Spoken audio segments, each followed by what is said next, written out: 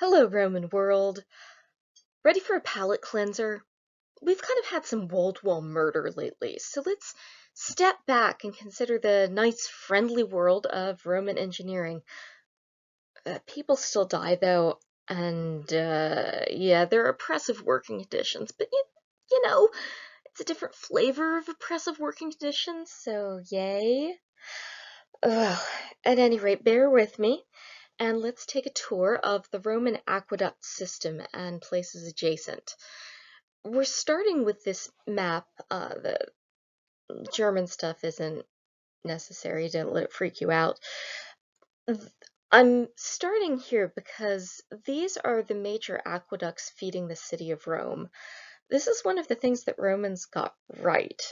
Uh, I've mentioned previously, they realized that water had something to do with the rate of disease.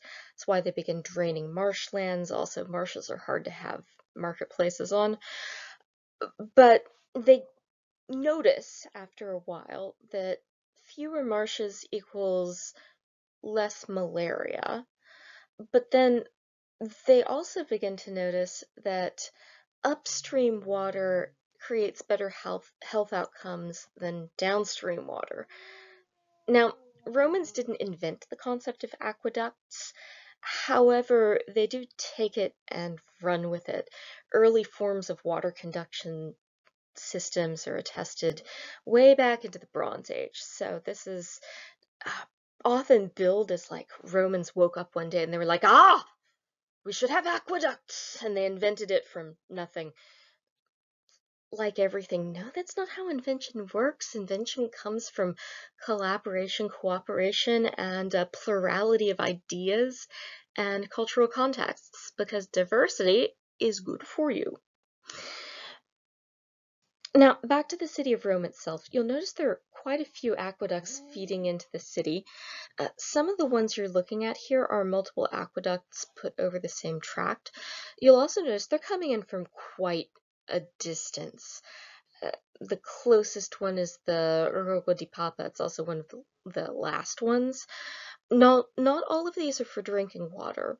The ones that are closer, the ones coming from existing lakes, some of them we know were just constructed to fuel the bathhouses or uh, the wastewater system. Um, there were gray water systems that were helping with the general flushing of the city. This is part of the city's waste management strategy too. Now, old school, I would have told you this is a great efficient system that continues to flush water into the streets, thus flushing trash out of the city. Archaeology doesn't really support that. Uh, probably in practice, what we're looking at is nasty, nasty streets kept damp by a constant flow of low water pressure um, wastewater. But it's better than it would have been. So, uh, not quite a gold star here to the Romans, but uh, participation trophy. This is where public health engineering starts. And public health engineering has been one of the major life saving things humanity has figured out how to do.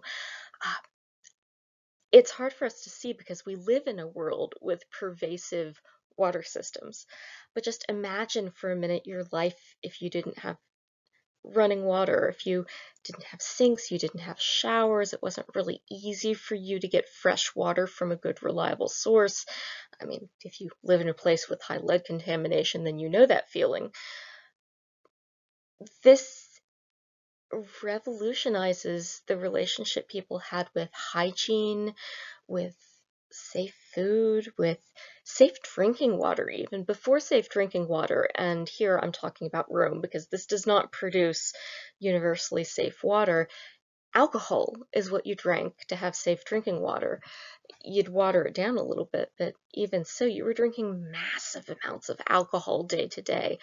And this just isn't great for your liver, but this was how people lived before the late 18, early 1900s, at which point temperance movements took over. But temperance movements and non-alcoholic drink cultures can only happen, or at least almost only happen, in a world where reliable sanitary water is a thing that you can get.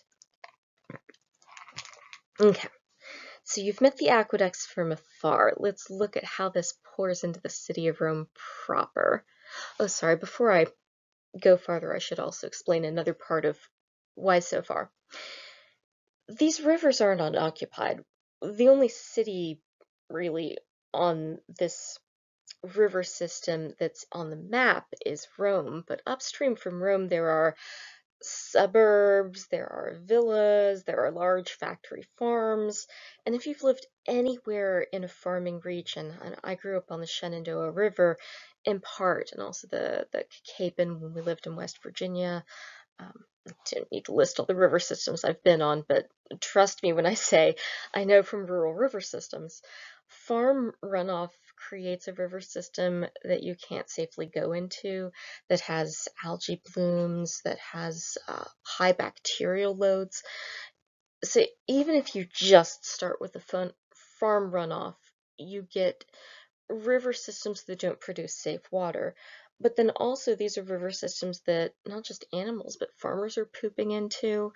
Um, animals are dying in, peeing in, pooping in, and, and that's how animals do. And this all comes together to form an unsafe drinking water situation for people far downstream of these areas. So by the time the Tiber is flowing into Rome, you can't drink out of that. That's not safe. These aqueducts then start, you'll notice, far, far upstream in the headwaters of the rivers feeding into the Tiber. That's on purpose. And a lot of the technology we're about to look at is covered and purpose built in order to preserve the cleanliness of the source water, to keep it out of the way of contaminants, and to bring it in as uh, close a condition to its source as possible into the city. And in large part, this works pretty well. This is safer drinking water than the drinking water you'd get from the Tiber. Now, the disadvantage to this system is that it places an even larger wastewater load on the Tiber. The Tiber River itself was and still is a bit heavily polluted, really unsafe. Not just unsafe to drink, but unsafe to swim in. Um, people are not just doing their laundry in it, but laundries are dumping their waste into the river. Uh, you may recall laundry waste is fuller's earth and urine mixtures. So the river is full of bleaching agents, it's full of heavy metals, it's full of tanning byproducts from the leather industry. It's a really unsafe situation flowing out to the Mediterranean Sea. Just icky, icky Tiber. And this is something that early environmentalists point out and lean on too, so it's not like it went unnoticed. Yay. Here the aqueducts coming into the city of Rome itself. You will recognize the hills, I'm sure, from the first unit we did. And this gives you an idea of just how many aqueducts it took to keep Rome supplied with safe-ish, running-ish water. Now, if you look at the outflows, they're coming to the edges of the city and they're staying on the hills. That's important because aqueducts work by creating a constant gradient from source to outlet um, with some asterisks. And these endpoints of aqueducts aren't where you go get your water. We're not done yet. That's not how municipal water supplies work. These are the end tanks. These become urban reservoirs that then further split out into pipes going around the city. However, you will notice economic disparities within that. Uh, the red lines are minor aqueduct lines, and some of them, yes, are serving areas like the um, Campus Martius and eventually the, the baths that are there but most of them are going to our usual elite suspects the Palatine, the Aventine, which uh, by the late Empire, this was fancy. It got gentrified, did the Aventine. Um, similarly, the Caelian starts a little podunk and then it goes gentrified. I can say podunk. I'm from Appalachia. It's cool. Um, the Esquiline, likewise. Eventually, there's one running to the Vatican. It's a very late one.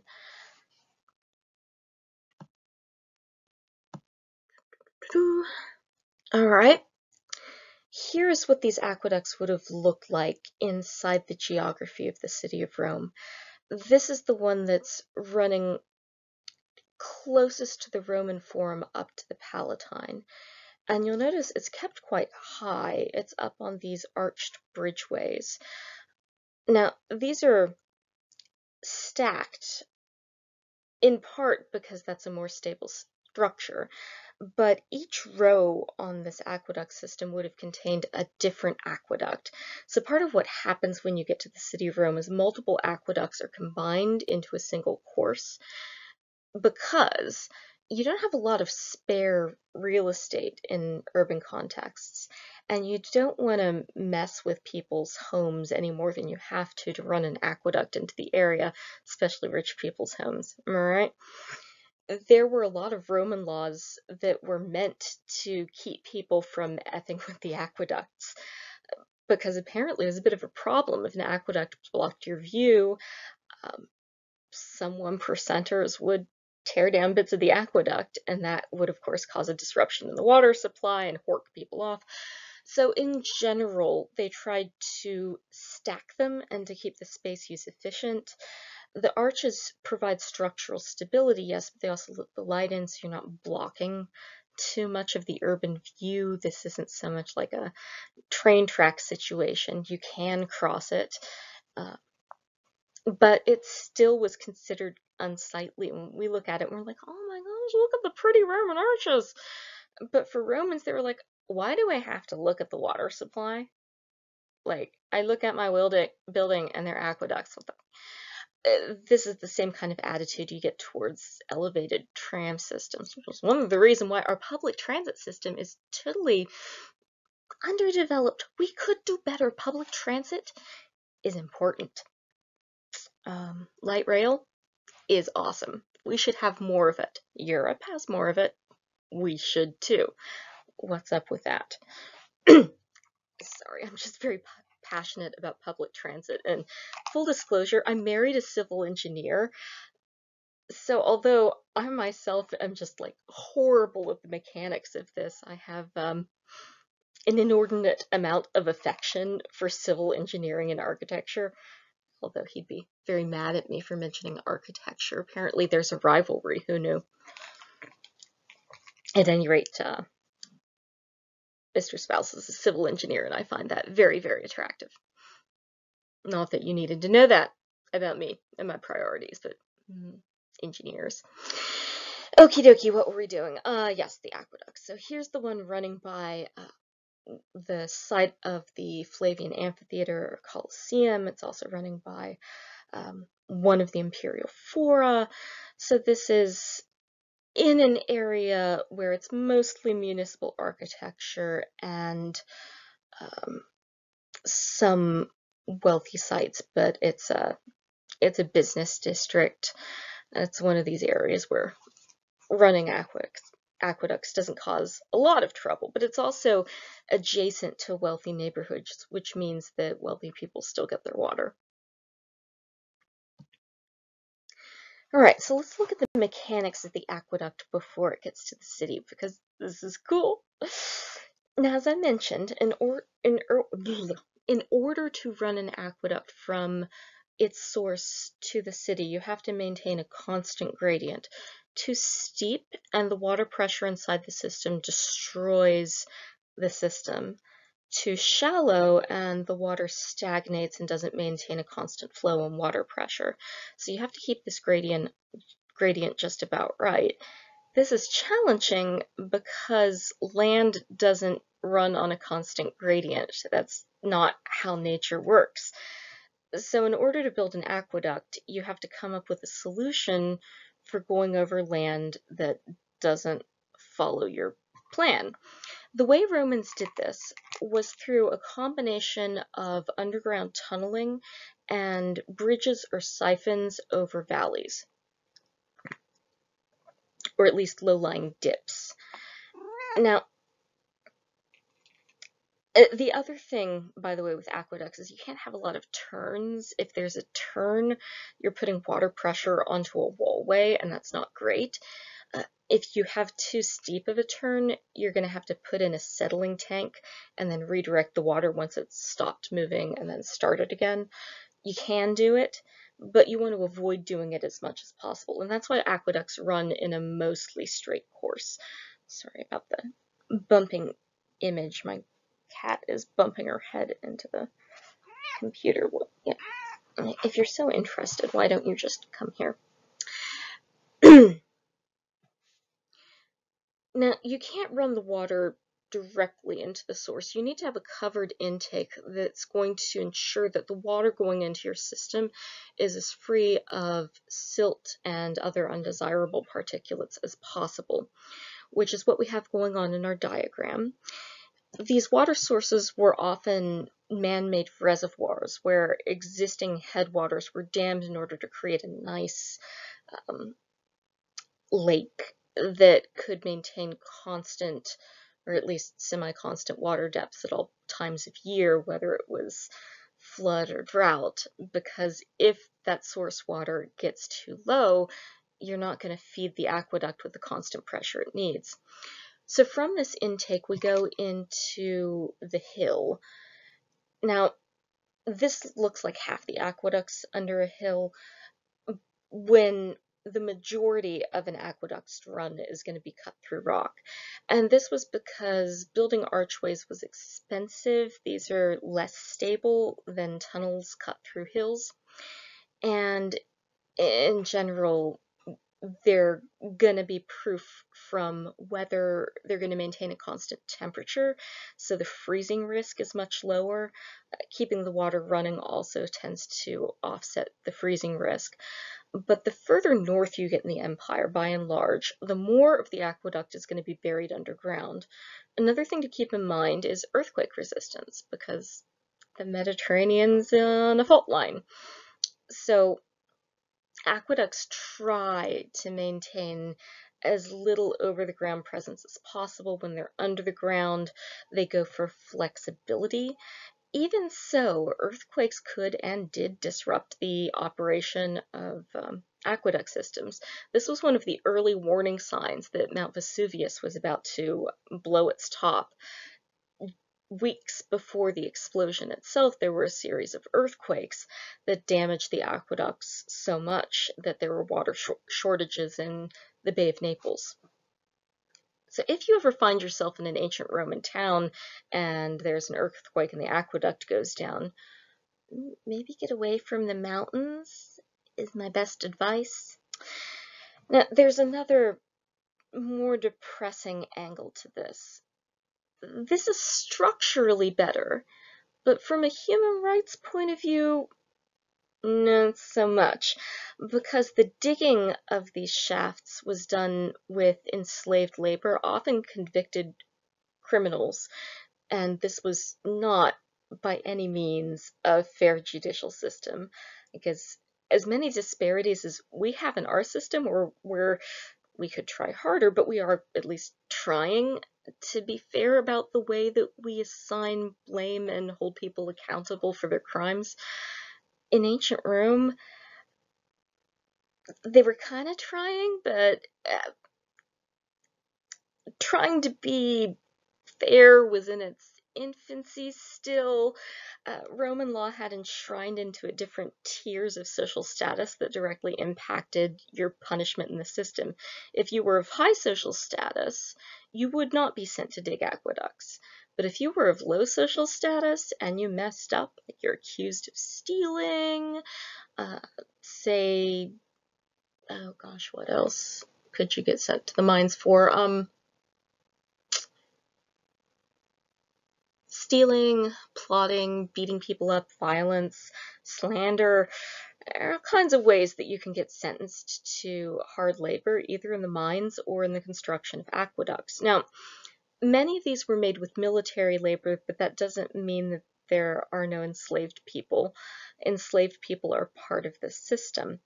But the military is also involved. One of the things that Roman legions began to do and invested heavily in once we get into the empire is using on the job training to create a core of engineers of a sort. So the designers of the aqueducts, the project manager, managers, supervisors got their training through military service. Similarly, a lot of military officers, as part of their duties, would have to supervise uh, mine operation, aqueduct systems. Um, my dude Pliny the Elder, this seems to have been his mid-career job, was as a mine inspector and supervisor. Just nifty sauce. As I said, I like civil engineers. They're nifty. so this brings me back to the tunneling. On the, the first diagram, you can see this on the second diagram too, uh, you see how the tunnel runs through the hill with inspection shafts that are somewhat open to the air. You'd put a cover over it so that excess dead animals couldn't fall into it. Once there's water flowing through the system, that's how you check to see if the water's still flowing. These are very narrow channels, all of them dug by hand. There's no dynamite in ancient Rome. And if you're in there being lowered through the inspection shaft and the water starts running again, you can be sucked into the system. Uh, you'll die, you'll drown. You don't survive being sucked into an aqueduct channel. And your body parts would have to come out the other end of the settling tank. Now, not just you, animals would get stuck in the system too. So part of what you'd have to do through the inspection shafts is get dead animals out of the system without drowning yourself. There is some good news here. There were ways of shutting off the water at the source and at different points in the flow of the aqueduct. Uh, there were diversion channels, there were settling towers where the water could sit while you were making repairs. And so this isn't necessarily something that you're going to die every day you go to work to fix a problem in the aqueduct, but there's no OSHA compliance in this system, and there's an exploitation of labor sources that are already getting a bit of a hard shake from the system, and some of them are hardened, horrible criminals who deserve to be stuck down a mine shaft. Because there are some, like, I, I don't hold murder much. I think that's kind of, it's tacky, it's destructive. Don't do the murder. Um, but uh, this isn't a system that does a really good job of finding guilty people and punishing them in a way that is uh, fair. So this means there are a lot of innocent convicts dying in these water systems. But also, even if they're not innocent, human life is important. I think they have value. I don't really hold with uh, endangering people in some kind of state custody. That's, you know, it's not about them at that point. It's about what the state's doing to human beings. which is neither here nor there. We're talking about engineering right now. But engineering is never far from ethics. And in fact, those of you getting your engineering degrees know that you have to take ethics courses to be an engineer because in historical circumstances where ethics has been kept at a distance from engineering and where engineers don't get a thorough training in how to think about ethics, how to design for ethical operation, horrible shit has happened. Um,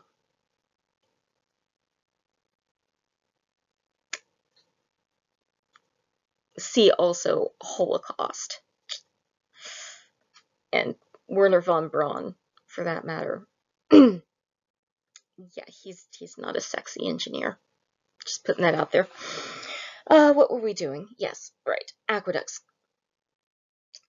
Now, at the end of the top system, you see one of these settling tanks I was talking about.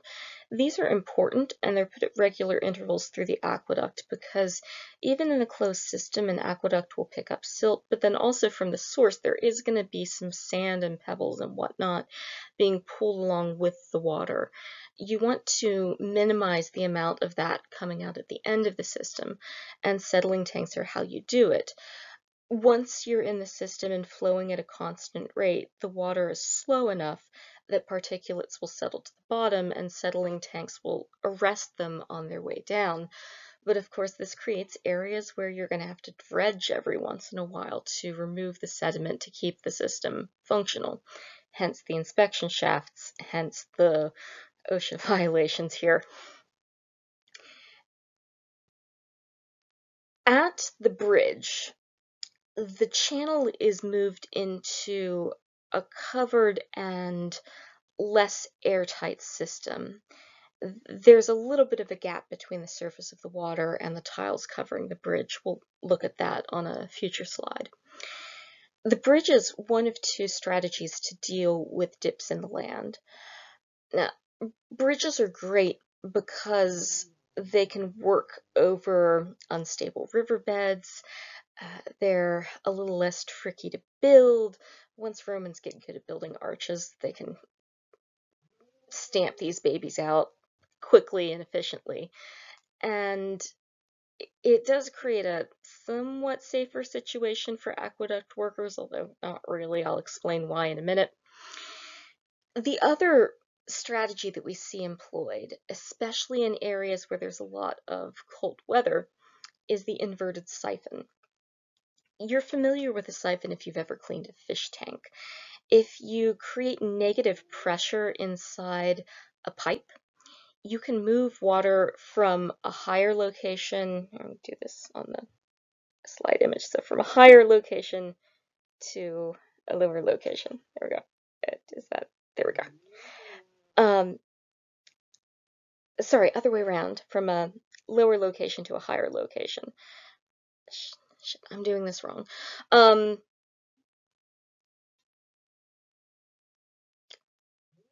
I should have made Mr. Spouse do this. Uh, from a higher location to a slightly lower location. There we go. That's not wrong. And indeed, that's what we see here. One end of the siphon is just a little bit higher than the other end of the siphon, but between these two points, there's a dip. So this is a way to make water flow uphill but it only works if there's no air in this system, at least not a lot of air, and you need to keep up constant water pressure. The way this happens in the Roman aqueduct is that just before the siphon begins, there's a rise in the roof that allows the water to pool and collect and build pressure at the top. As it falls down into the siphon, it's going to speed up and cause increased water pressure. That water pressure will be enough to then push the water on the other end of the system back uphill. Once it gets going, it'll continue, and as long as that's just slightly lower than the beginning point, you're going to be able to maintain water flow. Now on the other side, it's got to slow down again. So you've got another one of these higher ceilinged areas. This allows the water to splash, settle, and then resume its pace into the rest of the system. It's pretty brilliant. Some of these still work. 2,000 years worth of serviceability is pretty damn good for an engineering project. And indeed, aqueduct principles are still one of the tools in a civil engineer's toolkit for getting water into a city. It is an efficient use of energy. It's an elegant system. It can be made safer by like first not employing enslaved labor and or military conscripts and or uh, convicts, but also through safer inspection methods and better water shutoffs. So um, the ideas are pretty sound here. This I will give a gold star, not human rights, but you know.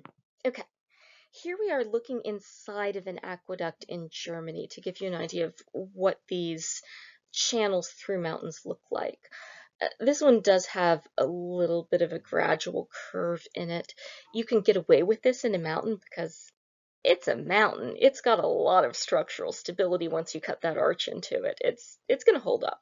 And indeed, it's held up. This is a 2,000 year old aqueduct run in Germany. You can see at the base from the final stages of this aqueduct's life a, a, lot of rubble that's collected on the bottom as people stopped servicing the aqueduct and as other bits of the system broke down, this stopped being an active water channel. But you can see most of it still exposed, including the coating of waterproof concrete on the inside.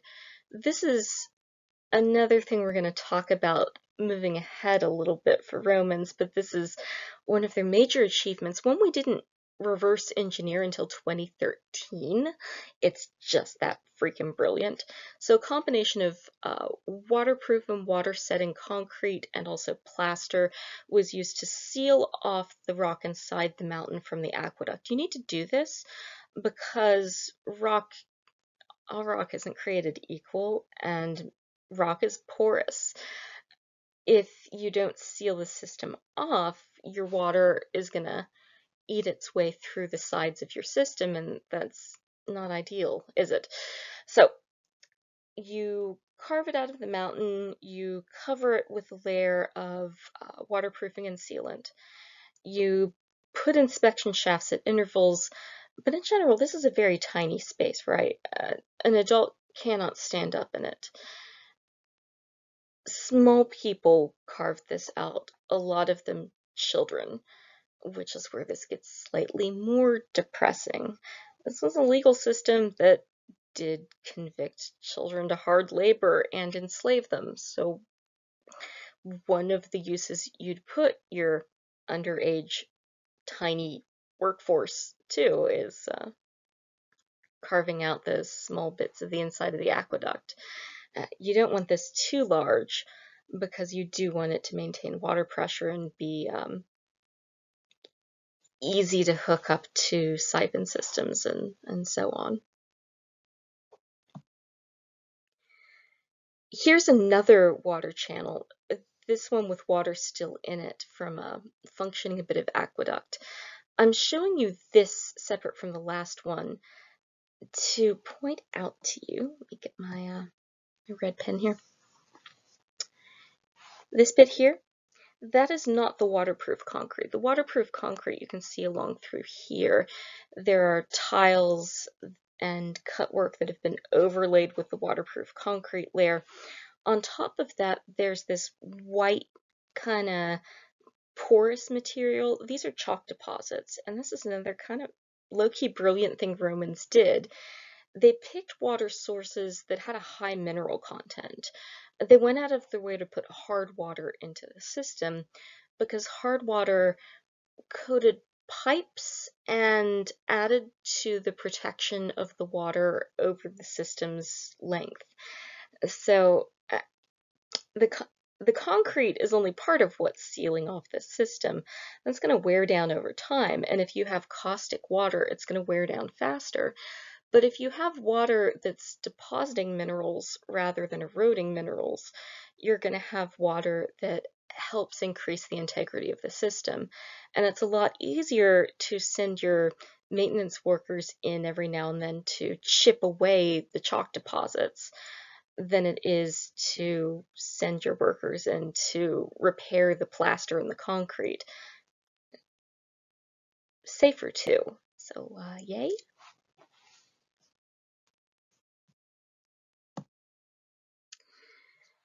This is one of the few remaining overground aqueduct sections. This is the Pont du Gard. It's in France, and it's a bit of aqueduct traversing a river. Well, that's obvious. You can see the river. It's right there. Uh, I have a couple of things to say about this before we look at its innards. The very top course is the only bit that has water going through it. The rest of the arches exist to raise that top level so that you can maintain the slope. You'll also notice that there are some bricks that are sticking out on the sides of the aqueduct. That's not messy, that's the access system. Now, I mentioned earlier that while it's slightly more safe to maintain the bridges, it's not all that safe. This is because your maintenance workers would be climbing up these projecting bricks up the side of the aqueduct and onto the top to do their maintenance work. And the higher you get on a bridge system, the more wind there is. The wind shear at the top of this is quite intense. So it, there might have been some rope systems to help keep you safe, but in general, this just isn't uh, isn't an OSHA compliant workplace. Again, I don't think there's such a thing in the ancient world, really. Also, there's no OSHA. Uh, the other thing that's cool about this, and much less depressing, is in the piers. Uh, now, this is a little bit harder to see, but let me draw a circle around one of these. These aren't just flat surfaces projecting into the water. There's kind of an arrowhead shape in the bits of the piers that are next to the water. This is because when a river floods, it creates intense stresses on any kind of bridge structure built over the water. Romans understood this, so one of the ways that you mitigate is that you create points like the bow of a ship to cut into the water and encourage it to flow around the sides of the pier. If you keep this front facing area flat, like it is up here, the water is just going to smash into that. And floodwaters have immense amounts of pressure. You very much don't want this to happen to your aqueduct because it will fall over and then you'll have to rebuild it and it's this whole thing and it costs money and people die. So, eh. putting that pier system in is still something we do in bridges that are over medium-sized rivers, and it's something you'll see if you're driving along the highway and you come to a bridge. Like, check out the piers of the bridge and look for uh, the oval or pointy arrowhead shapes that keep the water from pushing the bridge over. I find it comforting myself. Don't look up at the bottom of bridges, though. That's um, distressing, especially if you're on a road trip with an engineer. Like, Mr. Spouse cannot help himself. He'll be like, oh, that iron's corroding, and who's inspected this? It's been far too long. This bridge is about to collapse. There is the failure point right there. And it's like, on the one hand, I'm fascinated by this, and that's really interesting, but also, we're in a car on this bridge with the baby. We really need to invest in our infrastructure, I think is what I'm saying here.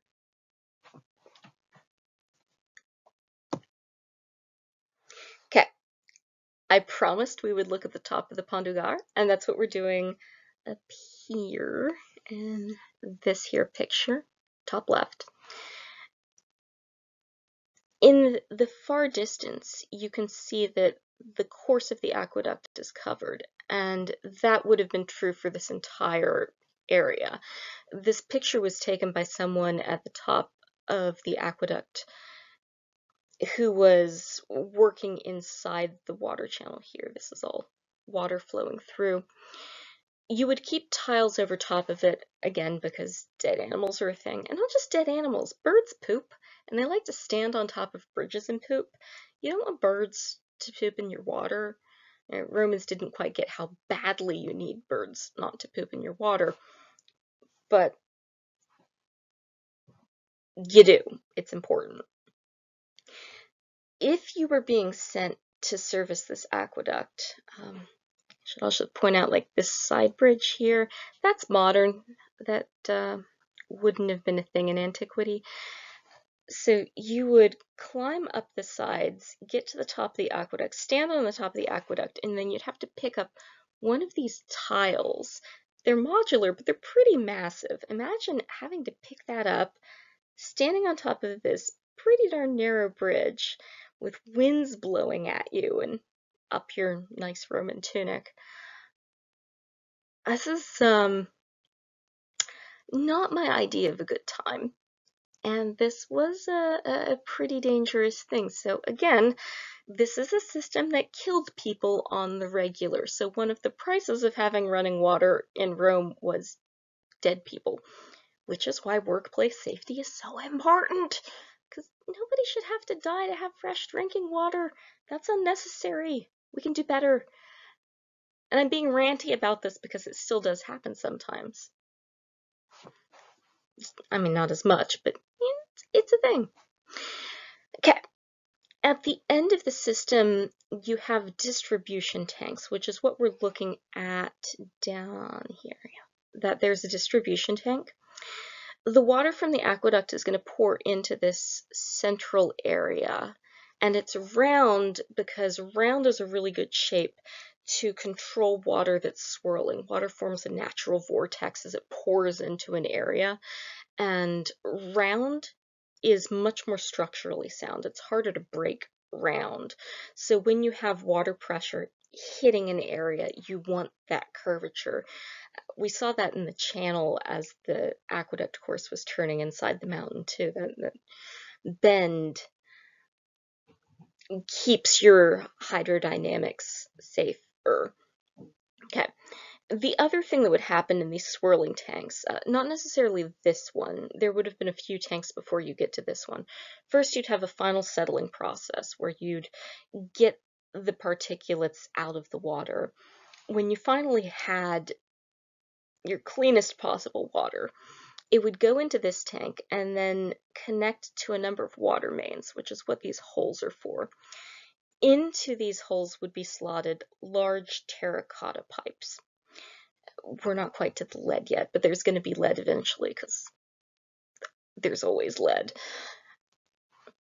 But here, terracotta pipes make more sense. It's easier to make large structurally sound ones. You can make them rounder so that they can handle the kinds of stresses that you're putting on them. Uh, these are made to slot one into another, kind of like a segmented worm and then the cracks were filled in with um, concrete or mortar to keep the system going. The water mains don't go directly to the distribution areas, though. I mean, not unless it's going to a settling tank in a bath complex. Rather, these water mains go to districts, and then there's further splitting later in the system which we'll get to in a minute. Part of why they're at the bottom of this tank and not the top of this tank, well, first, you want them to be at the bottom where the water pressure is going to be constant because it's at the bottom of the tank. Uh, the currents aren't going to be quite as turbulent there. There'll still be a little turbulence, but not a ton. It's a little bit up from the floor, though, to get that last little bit of sedimentation out before it goes.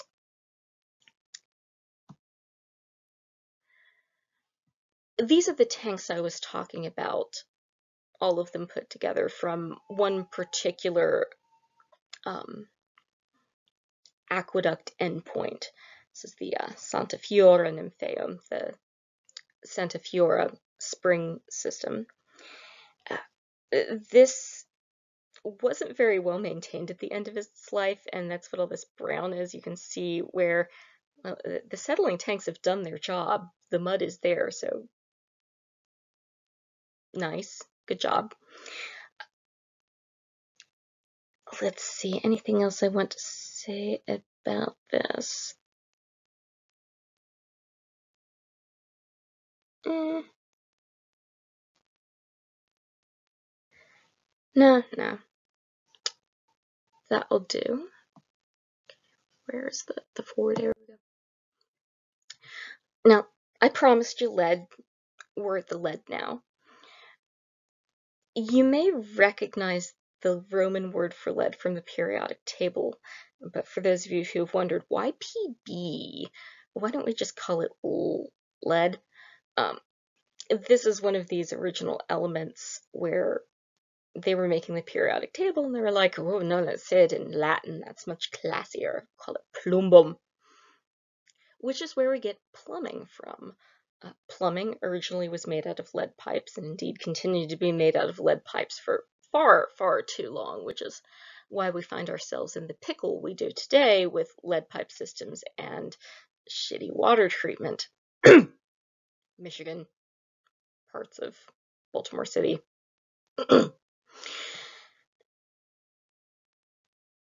Though I'm being cranky about this because this is a crisis we are currently in the process of doing a very bad job of fixing because it's expensive and uh, America seems to really hate paying money to save poor people's lives and brain function.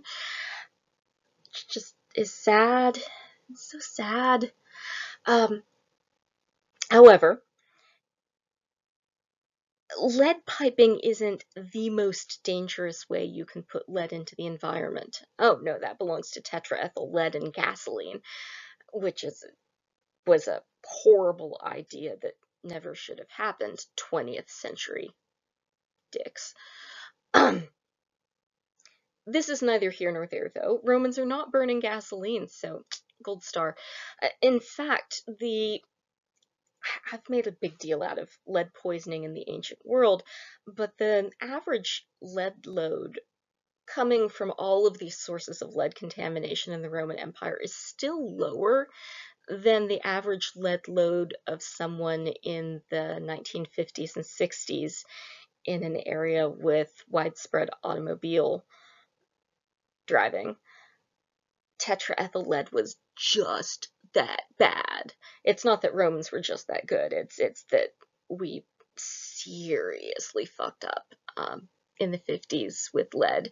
And I'm sorry about the F bomb, but I think if it's warranted anywhere, it's warranted in unnecessary loss of brain function and neurological function. That's just, that's not acceptable. Especially not when people get rich off of it. That's that offends me at a level that only an F bomb can quite express. So there we are. I stand by that opinion. Where were we? Right, settling tanks. this is the inside of another one that's more complete than the last one we were looking at. The last one was missing its top. This is what the top looks like. The window is there so that aqueduct workers can look in and check water levels and make sure that uh, nothing is going awry with the system without like crawling into the tank.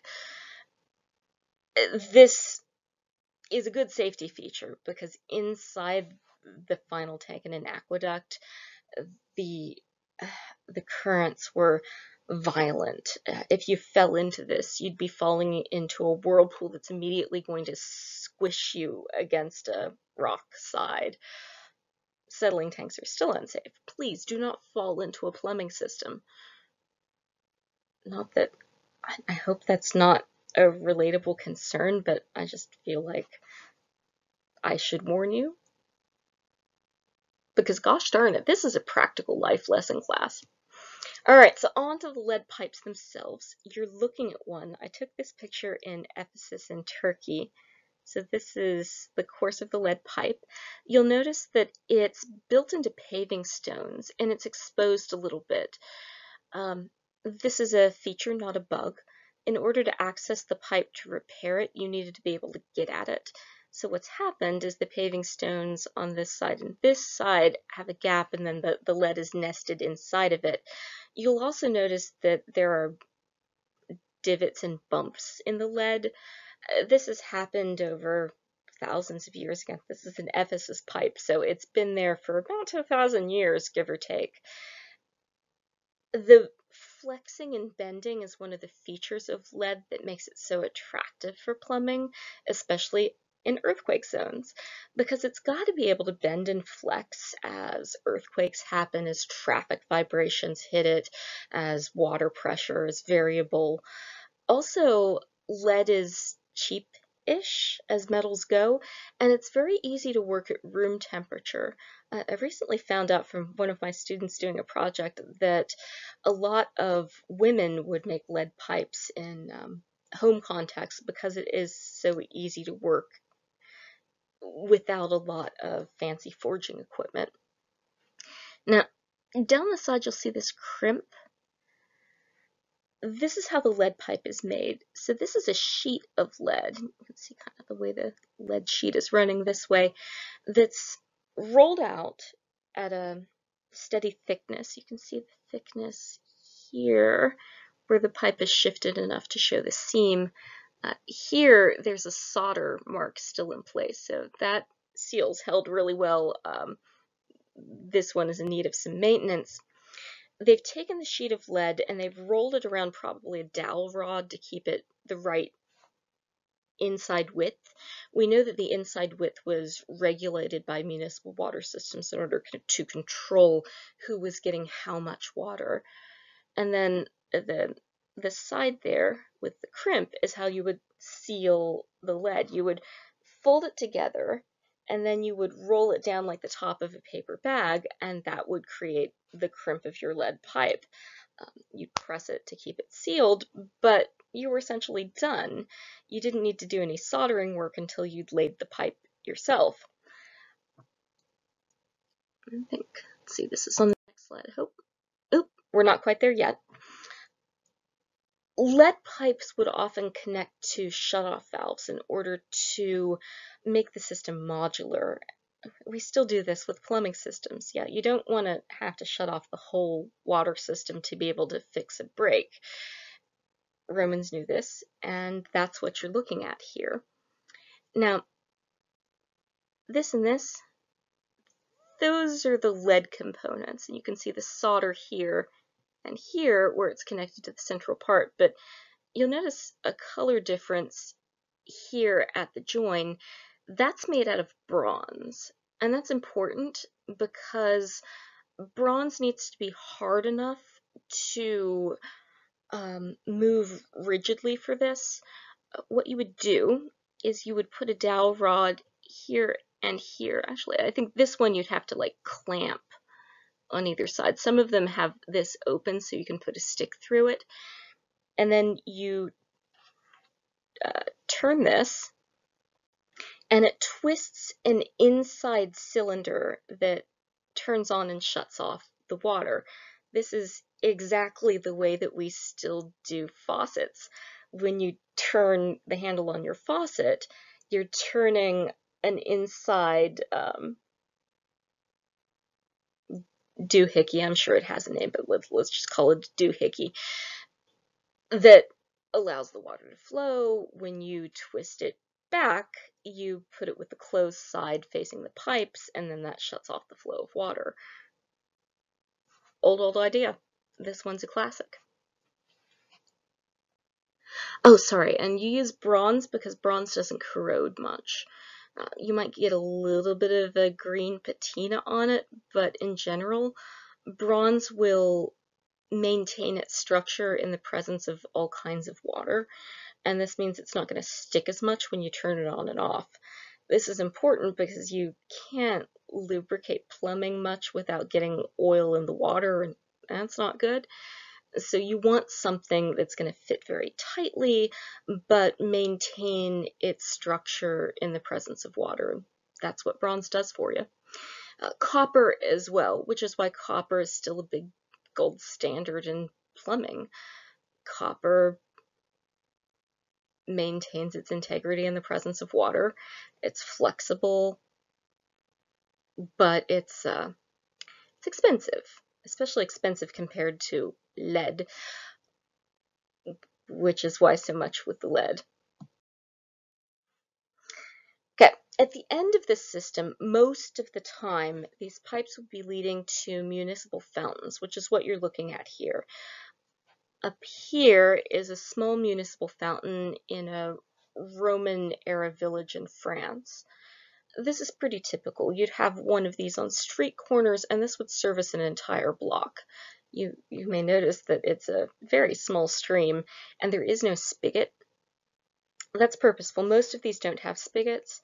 It's just going to continue to pour out water at a steady pace and either people will be filling it all day or when people aren't using it, the excess water is going to spill out of the catchment basin into the street and then become part of the system that uh, on a perfect day flushes waste slowly and gradually into the storm sewers. But probably is just making things disgusting and damp. Uh, however, disgusting and damp is relative. Without putting water onto dust, you're going to end up with um, a lot of dust pollution in the city from people walking through these dusty streets. And this isn't just dust, there's animal dung in this dust chicken dung, donkey dung, horse dung, and breathing in dung gives you diseases. Many, many diseases. So, as disgusting as it is, mud is the lesser evil here. I mean, mud is disgusting, but mud is harder to inhale. At least one would hope. Uh, it still gets on your hands. It's a wonder, wonderful fecal oral route for disease transmission. But if I were playing ancient public health would you rather, I'd go for the mud personally. Now, on this other image, we have a large municipal fountain. This is the major fountain in the city of Corinth one of these big metropolitan areas. Not the only fountain in Corinth, of course, but it's hefty.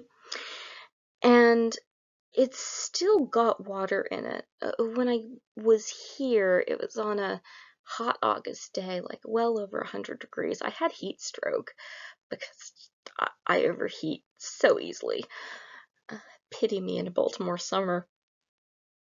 But back in the back, you have two layers of shade and then there's water back see here where there's oh, sorry.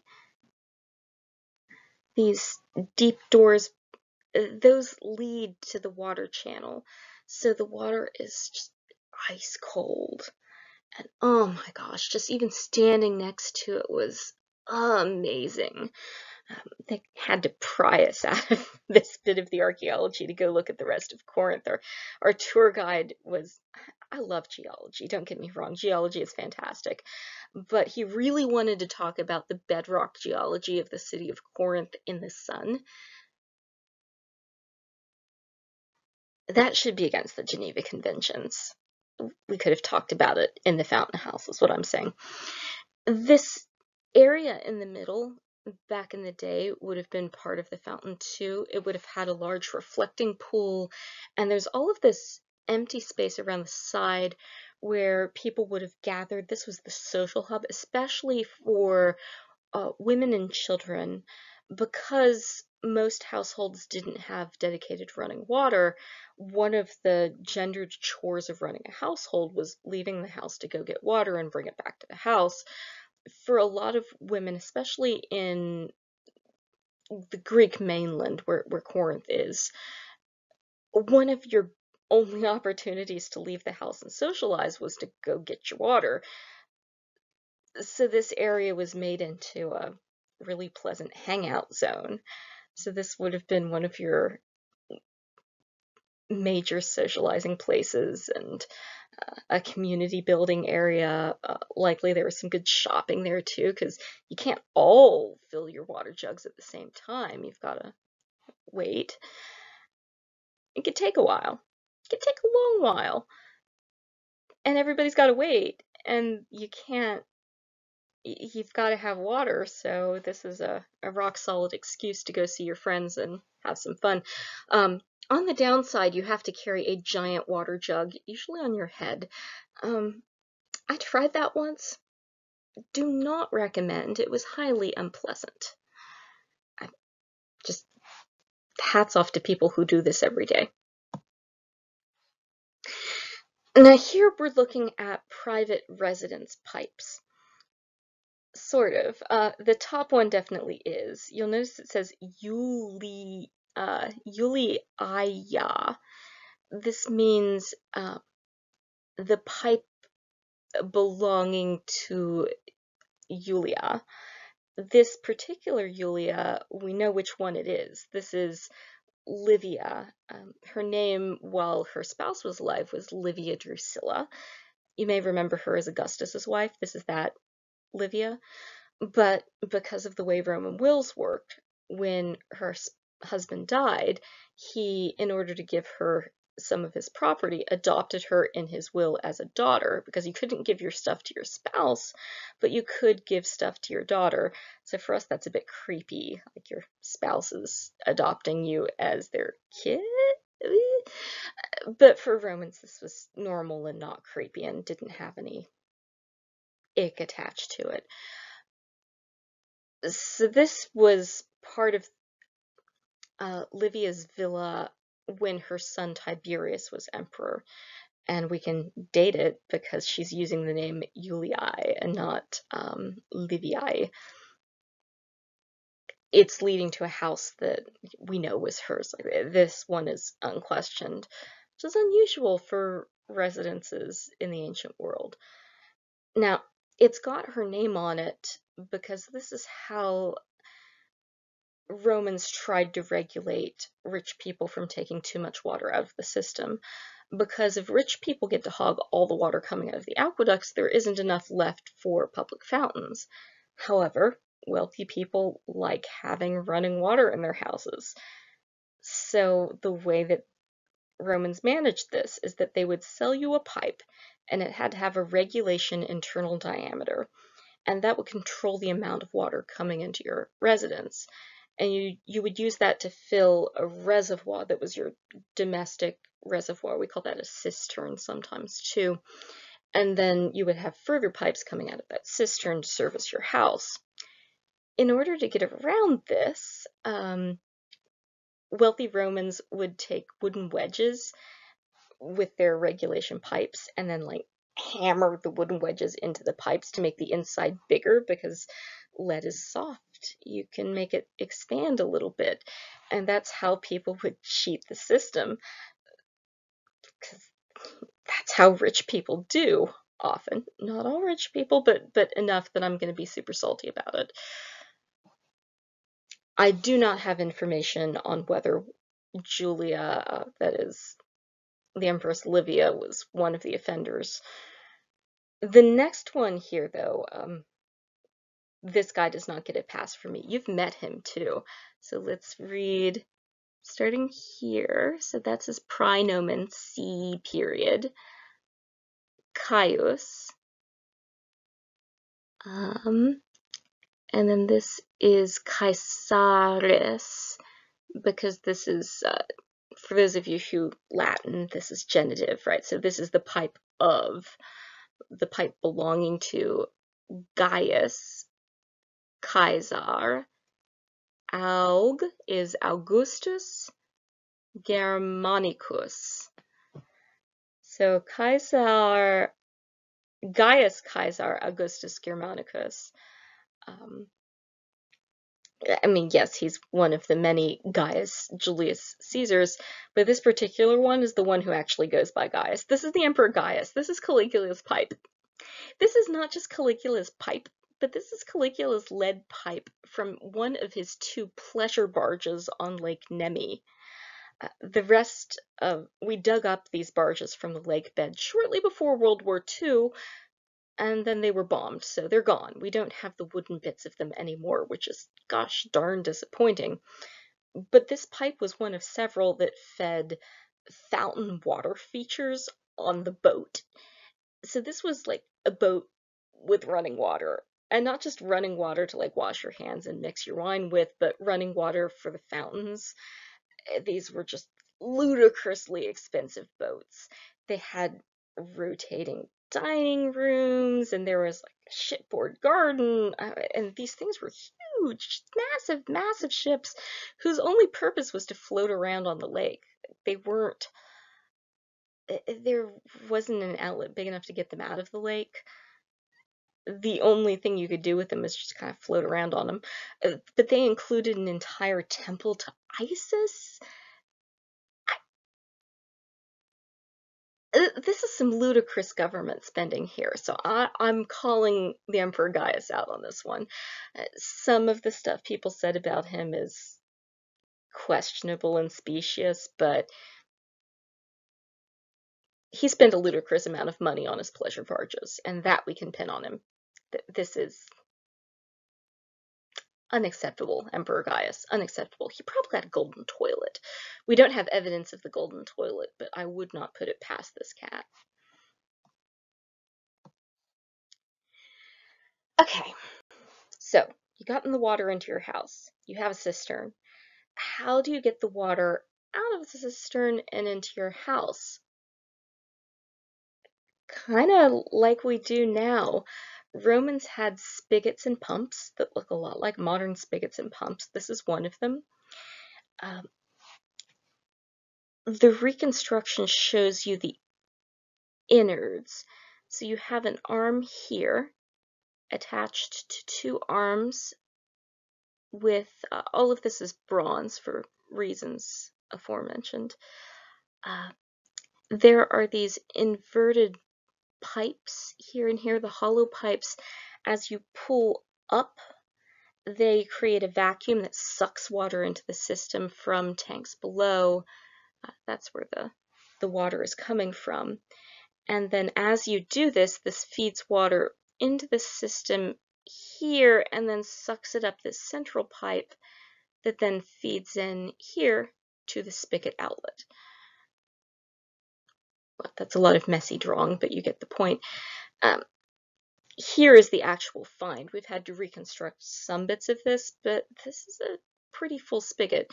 And we have other spigots that look a lot like this. This is um, well-attested Roman spigot that we see in elite houses, but also public buildings too. Uh, in Ephesus, there's this large, almost palace complex that may have been uh, a court building, maybe also a governor's mansion.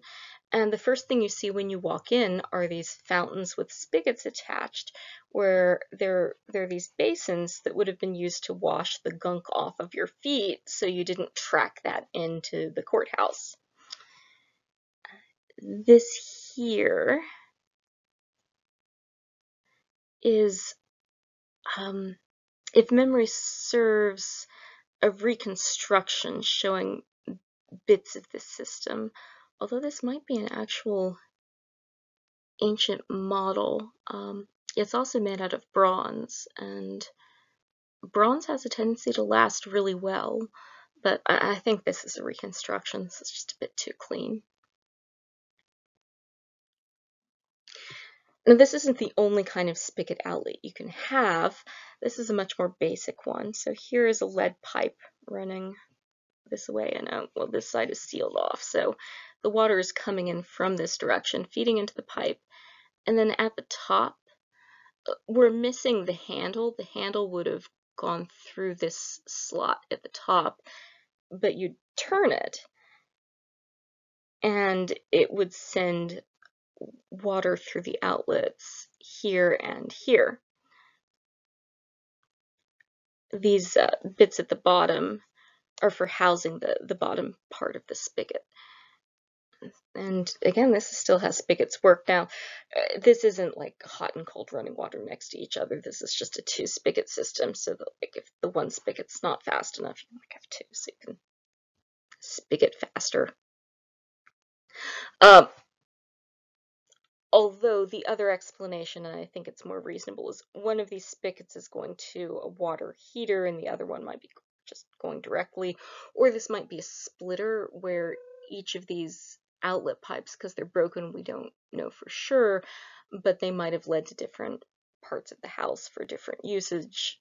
And this spigot system here isn't for turning the water on and off at the outlet, but rather turning it on and off up the system. So if you need to fix the plumbing, you have a shutoff valve.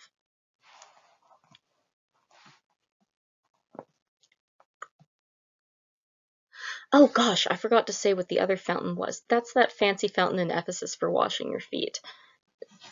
Sorry. Um, but now you're probably wondering what's going on here, or not wondering because this is also a familiar activity, at least I hope so, for a lot of you. Um, how do you poop in the ancient world, you may ask? Well, uh, pretty much the way we do today. Although not exactly. Now, most of the pooping and peeing going on in the ancient world is going on right in domestic spaces. You would poop into a pot and then carry it to the closest outlet or throw it out the window. We know this because there were laws against throwing poop on people's heads out your window, which meant that people were doing it enough that there needed to be a law. Uh, these laws also seem to have been rather difficult to enforce. But we start to see the rise of the public latrine in the first century in uh, purpose planned cities. These public latrines, however, have some severe design flaws. One of them being you poop into an open pit. There is some water flowing through the system, which eventually will take the poop away, but there's enough poop left that we can still analyze it to figure out the parasite load of the average user of these public latrines. Uh, my colleague here from another institution is demonstrating enthusiastically the use of the latrines. These are also part of an outlet system. There's gray water running along these channels through here. That's going to be important later, so keep that in mind. We'll, we'll, talk about why that's there in a minute. Um, hopefully not for people to pee in, but I wouldn't put past them. The access channels here at the bottom, uh, these aren't for standing up. It seems that uh, Romans using latrines generally were doing it sitting down. Um, stand peeing, I guess you could technically do it in here, but this doesn't seem to be space usage. Although we do know that standing up to pee was a thing for people whose plumbing accommodated that kind of thing. Uh, we know this because Pliny the Elder tells us there was a belief that when you pee, you should do it up against a wall or a building or something so that the gods can't see you and they don't get accidentally offended because you've just flashed them and peed at them. So you, you do it up against a thing. So many questions, but this isn't that lecture. Here is what this might have looked like in a domestic space. This is a novelty toilet. You'd put your pot on the inside of it, and then you'd sit on your chariot toilet to go poo. So this is someone who liked a multimedia sports pooping experience, as people do. Now, back to our latrines for a minute. There is sewage, lots of sewage, inside of channels. And we're missing the top walls of this, but you can see walls here, walls here. There would have been a roof over it. So this is an enclosed area with open sewage. Think for a minute about perhaps the last time you were at summer camp using a John. Um, that is latrine. I shouldn't go with the, the idioms here. The smell is overpowering, yes. We now add chemicals to these outdoor latrines in order to mitigate some of the effects of sewer gases. But in general, one of the byproducts of standing sewage in a closed room is a buildup of methane. And this is a culture that does not have electric lighting. So if you're going into a dark latrine, you're going to be taking a lamp with an open flame. Maybe not you, but somebody's going to do it eventually. And if it's on the wrong day and there's just enough buildup of sewer gas, that sewer gas can ignite and explode. Now, they didn't understand sewer gas. They thought that there were toilet demons who would lurk in the depths of the Johns and that uh, you could placate them by uh, we sometimes find inscriptions on the inside of the Johns meant to um, ward off uh, the activities of explosive toilet demons. But also, there seem to have been rituals too that helped you deal with the anxiety of going to a bathroom that may rarely explode on you while you're going.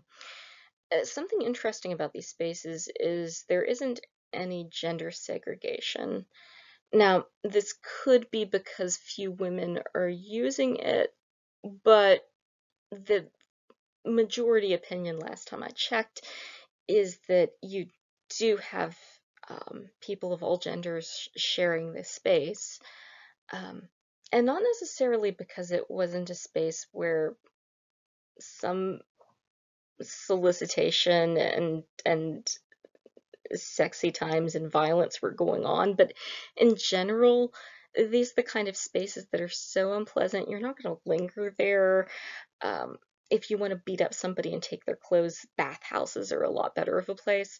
You're also not exposing a lot of your body with the way ancient clothing works. You kind of hike up your robes and nobody's going to see much. So it's not necessarily a high exposure situation. Uh, might be a little bit crowded. Some people have tried to estimate the width of the average bottom by looking at how closely toilet spaces are spaced. That's that's interesting. I'm not sure if it's conclusive, but creative. I admire. Um, what else did I want to say about this? Uh, but in general, this this isn't really um, a sexualized place. And before the Victorian period, pooping in public wasn't considered unnatural. Uh, in general, there was a much healthier recognition of the universal need of everybody to poop. And, uh, hi, kitty. Yes, as, as Tethys can attest, uh, pooping is a natural function. You shouldn't be embarrassed to do it while making eye contact. Tethys. Sorry, I, I shouldn't tell her business, but gosh darn it, it's it's a little bit unnerving. In fact, one of the hard selling points for indoor plumbing and toilets and dedicated bathrooms was that people found it inconvenient. It was a real hassle to have to leave the room to go poo in a culture where you used to just poo. There were chamber pots that were made so that you could poop in your room. You didn't have to like leave your bedroom at night to go to another room to poop. You just like hang your butt over the side of the bed and go. Um, there were ones that were made that you could use under your skirts. You could just kind of like stick them up there, poo, and then put them down. And if you had giant skirts, nobody would notice. Um, the 1700s were an interesting time to be alive. And then, of course, you'd get somebody else to take your poop pot away. So it would be enslaved people and low status folk who were risking the wrath of the toilet demons to go throw away your refuse. Or you just put it in the streets too uh, one of the selling points, one of the ways that we made our culture feel the way it does about pooping was an effort to create better public health and sanitation. It was to encourage people not to poop in public, not to poop in pots, not to touch poop, not to hand poop to other people and thus spread the poop around, but to put the poop directly from your butt into a closed disposal system. The reason there's a U-bend in toilets is to keep sewer gases from coming back up and igniting and causing smells and nastiness. Especially before we had germ theory, miasma theory held that smelling poop could cause disease. And that's answer adjacent. They're not wrong. Proximity to poop causes all kinds of disease, um, especially cholera cholera bad. Cholera very bad. Uh, so, where am I going with this? Um, we should be careful to look at this as a public sanitation win. It's certainly nice that they're thinking about getting the poop away from the people as soon as possible, but it would be a mistake to look at this and say, oh yeah, Romans had a poop-free cityscape. Uh, no, no. But they're trying. A for effort Romans. And this is an important first step on a road that eventually leads us to a healthier poop culture in some ways. But it also leads to a culture of shame and reticence in talking about poop, and also an, an embarrassed lack of frankness when it comes to the health of the parts with which we poop and pee that do lead to poorer health outcomes being able to talk about pooping is necessary to health, right? We shouldn't be ashamed of poop adjacent illness. You know, there isn't a trendy ribbon for bowel cancer, but it still takes a lot of lives unnecessarily because we're embarrassed to talk to our doctor about poop issues. My basic point being, don't be embarrassed about poop, just put it somewhere safe and keep it off your hands. Don't say I never taught you anything useful. Alright, I promised, now I'm going to deliver. How, you might be wondering at this point, does one wipe in an ancient Roman lavatory? Well, I'm going to start with the best option from the ancient world. Uh, the good news about this, it's renewable, it's reusable, it's washable, and it's soft on the butt.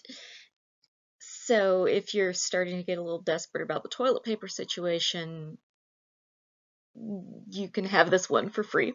Love the Romans. This is the Tersorium. Uh, now it's right next to a strigil. That's going to be important a few slides down the road. But for now, we're focusing on the thing that looks like a sponge on a stick. It's a sponge on a stick. Um, the one on the top is made with a little bit of sheep's wool too, so it's not always sponge, but sponge is the gold standard. This is natural sea sponge. One of the benefits of natural sea sponge is that although it holds water, so it's a little absorbent, it's not too absorbent, so you can kind of wash it out a little bit. The other thing that's good about this configuration is that it creates separation between the hand and the butt. This is important, yes. We've talked about the dangers of fecal oral transmission routes before. Now, it's not that they know about fecal oral routes of transmission, but it doesn't take a genius to figure out that maybe not getting poop on your hand is nice. And this is their solution. So the stick keeps your hand away from the poop. The spongy end is the bit that you use to wipe. And you don't have one of these for personal use. Rather, they're provided in public lavatories. You kind of expect them to be there, like we expect toilet paper to be there. Um, the sources are a little unclear on how these are supplied or provided, and we'll talk about, about what you do if there isn't one of these. But if you're lucky, there's a tersorium. Now, you've probably met one of these if you weren't familiar with it before. Um, for those of you who are from a religious tradition where you talk about the crucifixion narrative for Jesus, you may recall that at one point he's thirsty and then they have this sponge on a stick that they dip into vinegar and water and they offer for him to drink. This is that sponge on a stick. So, like, that story is even more depressing than you realized. I don't know why more pastors don't go into that level of detail. Um, maybe because it's like not socially acceptable to talk about poop in church. Ugh. At any rate, well, more on that depressing story later. I'll just leave it at that. There are more depressing sponge on a stick stories, but I'm just going to stick to the good news now because we could use some. Uh, that vinegar and water thing, by the way, isn't a one-off for the crucifixion. This would be kept in pots full of, well, vinegar and water. Uh, the vinegar kept it from developing an odor. They didn't know this is because it's also killing germs, but that's part of what's going on here. So eh, there's more good news than bad news. Now, that hollow that you saw in the toilet configurations a while back.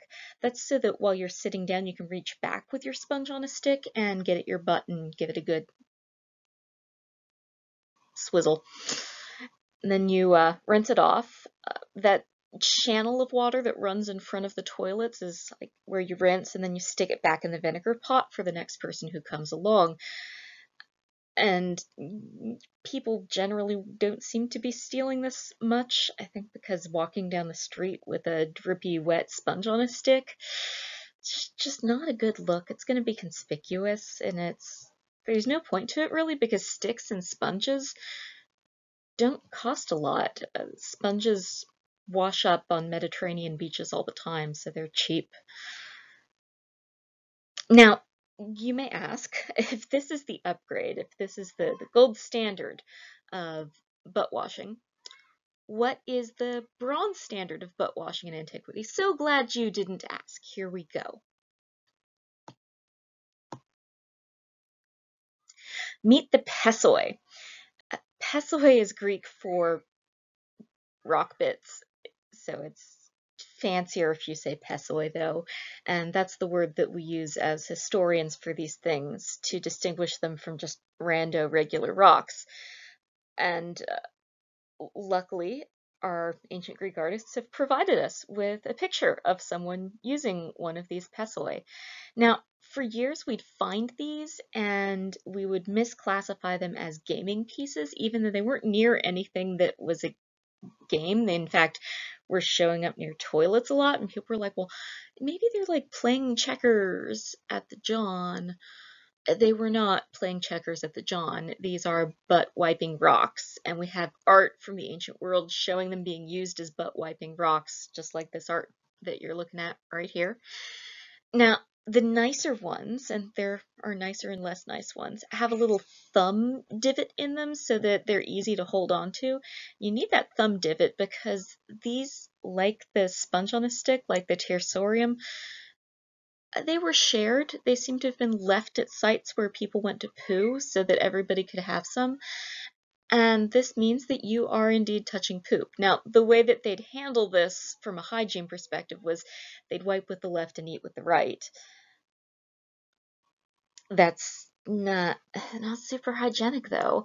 And again, this is a culture without soap. So even though oil is a great way to clean for a lot of uses, it's it's not great for breaking up nastiness on your hands and preventing the spread of disease. You really do need soap for that. So that was the nice pessos, uh, singular, pessoi plural. The one next to it that looks like a shard of pottery, that is a shard of pottery. That's a broken bit of pot, and they'd use that in a pinch. If not that, then they just use other rocks they found around the John, and if you're in the country, you just pick up a rock because it's the country and it's full of rocks. Now, if you're wondering whether or not this caused damages to people's anuses, well, yes. Yes, it did. Because wiping yourself with um, pumice stones, a lot of these are cut out of pumice stones or volcanic rocks, it's not great, right? Your your asshole is um sensitive. That's mucous membrane tissue. That's just not a not a place that you want to be rubbing with rocks. And this caused fissures, hemorrhoids, uh, rashes, secondary infections. Um, and then with secondary infections, you could get all kinds of other complications, ulcers, just bad. So the sponge on the stick was indeed a health upgrade because if there's one thing worse than fecal oral contact, it's creating uh, bleeding wounds in an area that you're using to wipe with stones that have other people's poop on them. It's a great way to give yourself sepsis sometimes. So if the exploding toilets weren't bad enough, this is worse. At this point, I would like you to, like to remind you of the next step. So you've uh, drunk the water, you've pooped in the water, you're eventually going to wash in the water, you're done with it. Now it's got to go somewhere. Uh, with all of the sludge it's collected from the streets that it's flowed through, it's going to go to a storm drain. Uh, just to remind you, in the city of Rome, this is the Cloaca Maxima, the, the uh, greatest sewer how everything's greatest in Rome. They're just delightful people. Here's the shrine to Venus Cloacina. You'll remember this from the beginning of the class, but just to kind of jog your memory here. Hi, Katie. Thank you for helping. Now, to get to the storm sewer, you'd need outflow pipes, which design-wise are the same as the main distribution pipes coming off of the water tower of the aqueduct. Uh, this is what I was talking about with terracotta pipes. I took this picture in Ephesus in Turkey.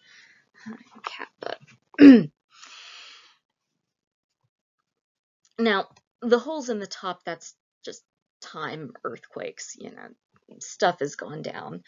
But you can still see the design of the mains, and because this is just a partial, you can see where one section of terracotta piping links up with another, uh, just like Lego bricks. You link them up and uh, they can bend and flex a little. These are inclined underground so that they all flow into a central storm drain, which will then flow out into the nearest body of water. In Ephesus, this was the harbor. In Rome, this was the Tiber, which would also go onto the harbor. And that's pretty typical. If you have a really inland city, then it might flow into the nearest marsh or bog or lake or farmland. Uh, but cities in the ancient world did tend to be coastal just because of the Mediterranean being what it was. Uh, inland cities, after a certain point cut off from harbor contact, uh, didn't seem to achieve quite the amount of growth. Although, again, this is a general rule, not a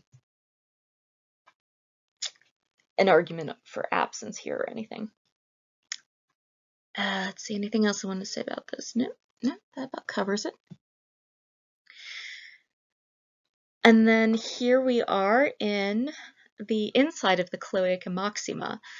These were built like every other part of the system to be accessible because they did need clean. In fact, you can see on the right-hand side the modern outlet of the Cloaca Maxima. It's not the big arch, it's that tiny arch buried half underwater, half under sludge. Now, without workers, that sludge builds up until the storm drain isn't going to be draining anymore. So you need to send people in there to you know, remove blockages and knock gunk off the side of the walls and control the general nastiness. Uh, today they have properly paid workers with, you know, benefits and things. In antiquity, guess who? enslaved people. I shouldn't be sounding so chipper about that because it's horrifying. Uh, they're be being sent into these dark, dark tunnels with fewer access ports again than the aqueduct tunnels. And keep in mind, this is water that now has large amounts of sewage in it. And just like the toilets, that means sewer gases. So you take your life into your own hands every time you go down here with an open flame, and there are no flashlights in antiquity, so it's exactly what you're doing. You can try to explode it ahead of you a little bit, but essentially it's this dangerous, dangerous job.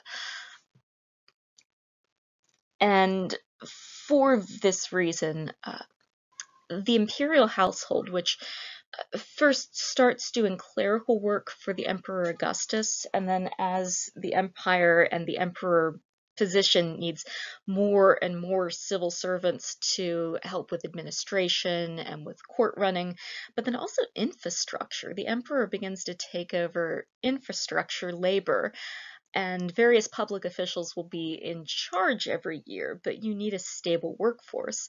And this comes out of the imperial household. So the emperor himself owns more and more and more people. Often these people are given freedman status once they've been trained to a certain level or they've risen to a certain rank, but it's a job for life. So if you're wanting to know about the history of government service, government service in ancient Rome, a lot of the day to day stuff that makes a system run was done by enslaved and freed person labor. Now let's pause for a minute before we return to the question of baths. I've mentioned in passing Roman underwater setting concrete. I'm going to talk about it more now because Roman concrete is freaking awesome, guys. This is a formula that was so effective. Things built out of it are still standing around and in use in various bits of Europe, but also its recipe was lost for thousands of years. We only managed to figure out what was going on with this in 2013, and it took an international interdisciplinary committee from uh, what was it like Japan, Korea, Italy, the United States, Great Britain, I think France, to finally figure out what the heck was going on here.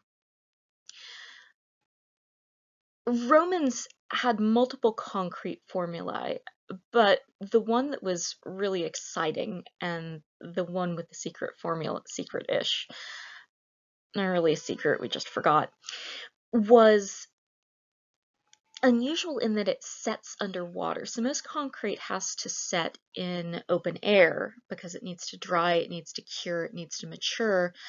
Um, and not all concrete is waterproof when set either.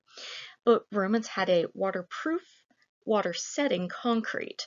And this was done using volcanic minerals that are only found from certain kinds of volcanoes. Uh, volcanoes that emit a pyroclastic flow with like a large ash cloud and then uh, collapsing, like say Mount Vesuvius. This creates these minerals that will react with salt water specifically. So it's not just any water, it's got to be salt water. And then they form crystals which create the hard matrix of the concrete through a chemical reaction. And then this sets waterproof and water hardening.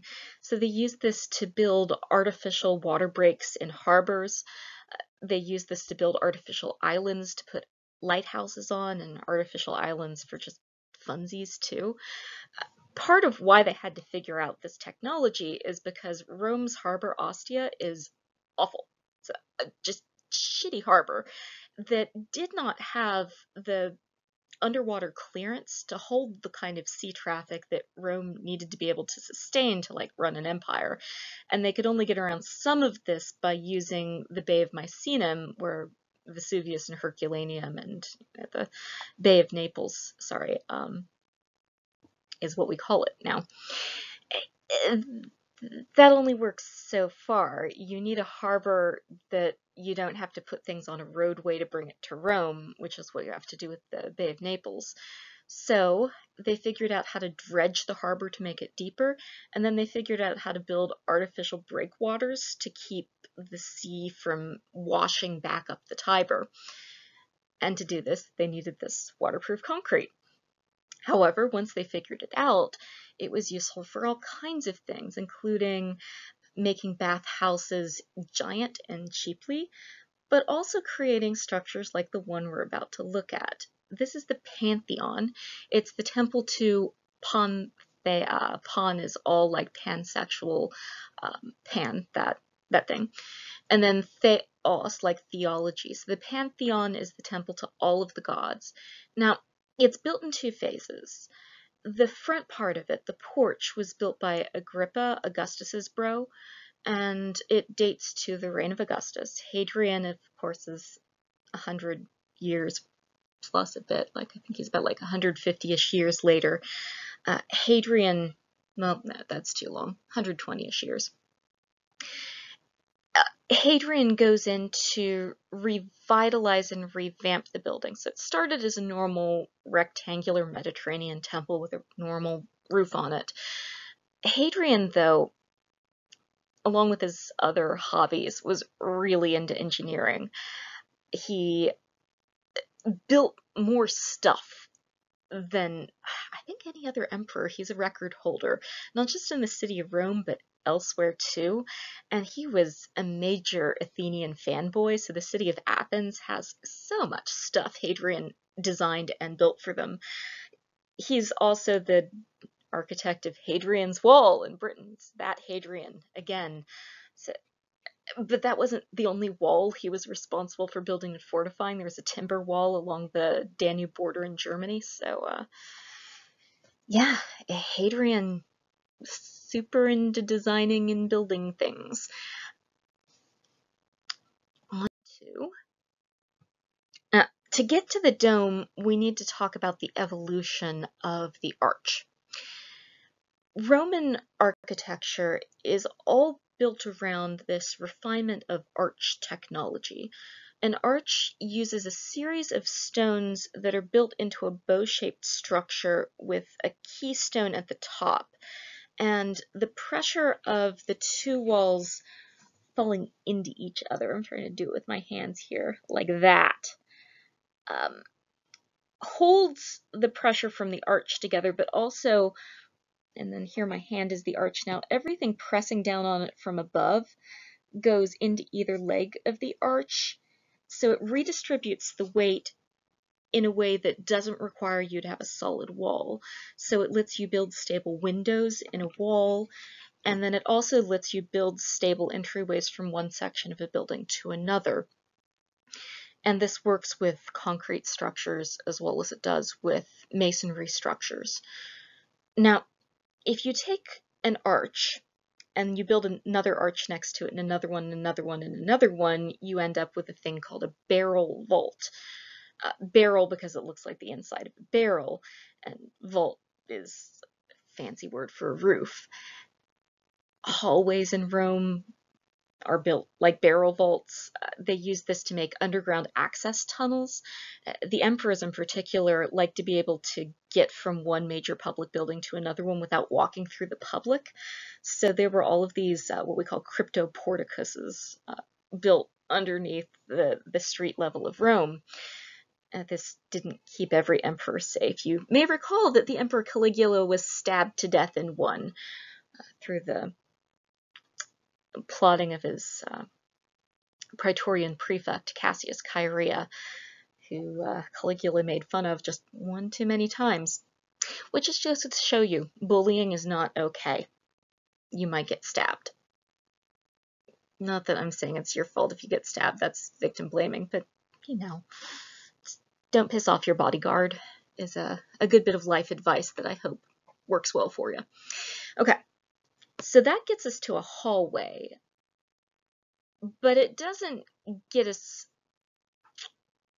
to a point where we can have really wide ceiling spans as such, or intersections. So if you take one barrel vault and another barrel vault, and you intersect them with each other at 90 degree angles, you end up with um, sometimes a thing called a groin vault or a stirrup vault. Uh, groin or stirrup because it looks like there are straps and ribs where the barrels meet each other. And you can do this again and again and again and again to form a ceiling structure, which is what we have like a third to the right here, just up top. However, if you take an arch and instead of just building out from it in a straight line. You instead rotate the arch like a compass or something all the way around. It forms a dome, which is still stable for the same reasons that an arch is stable if you do it right. It's trickier.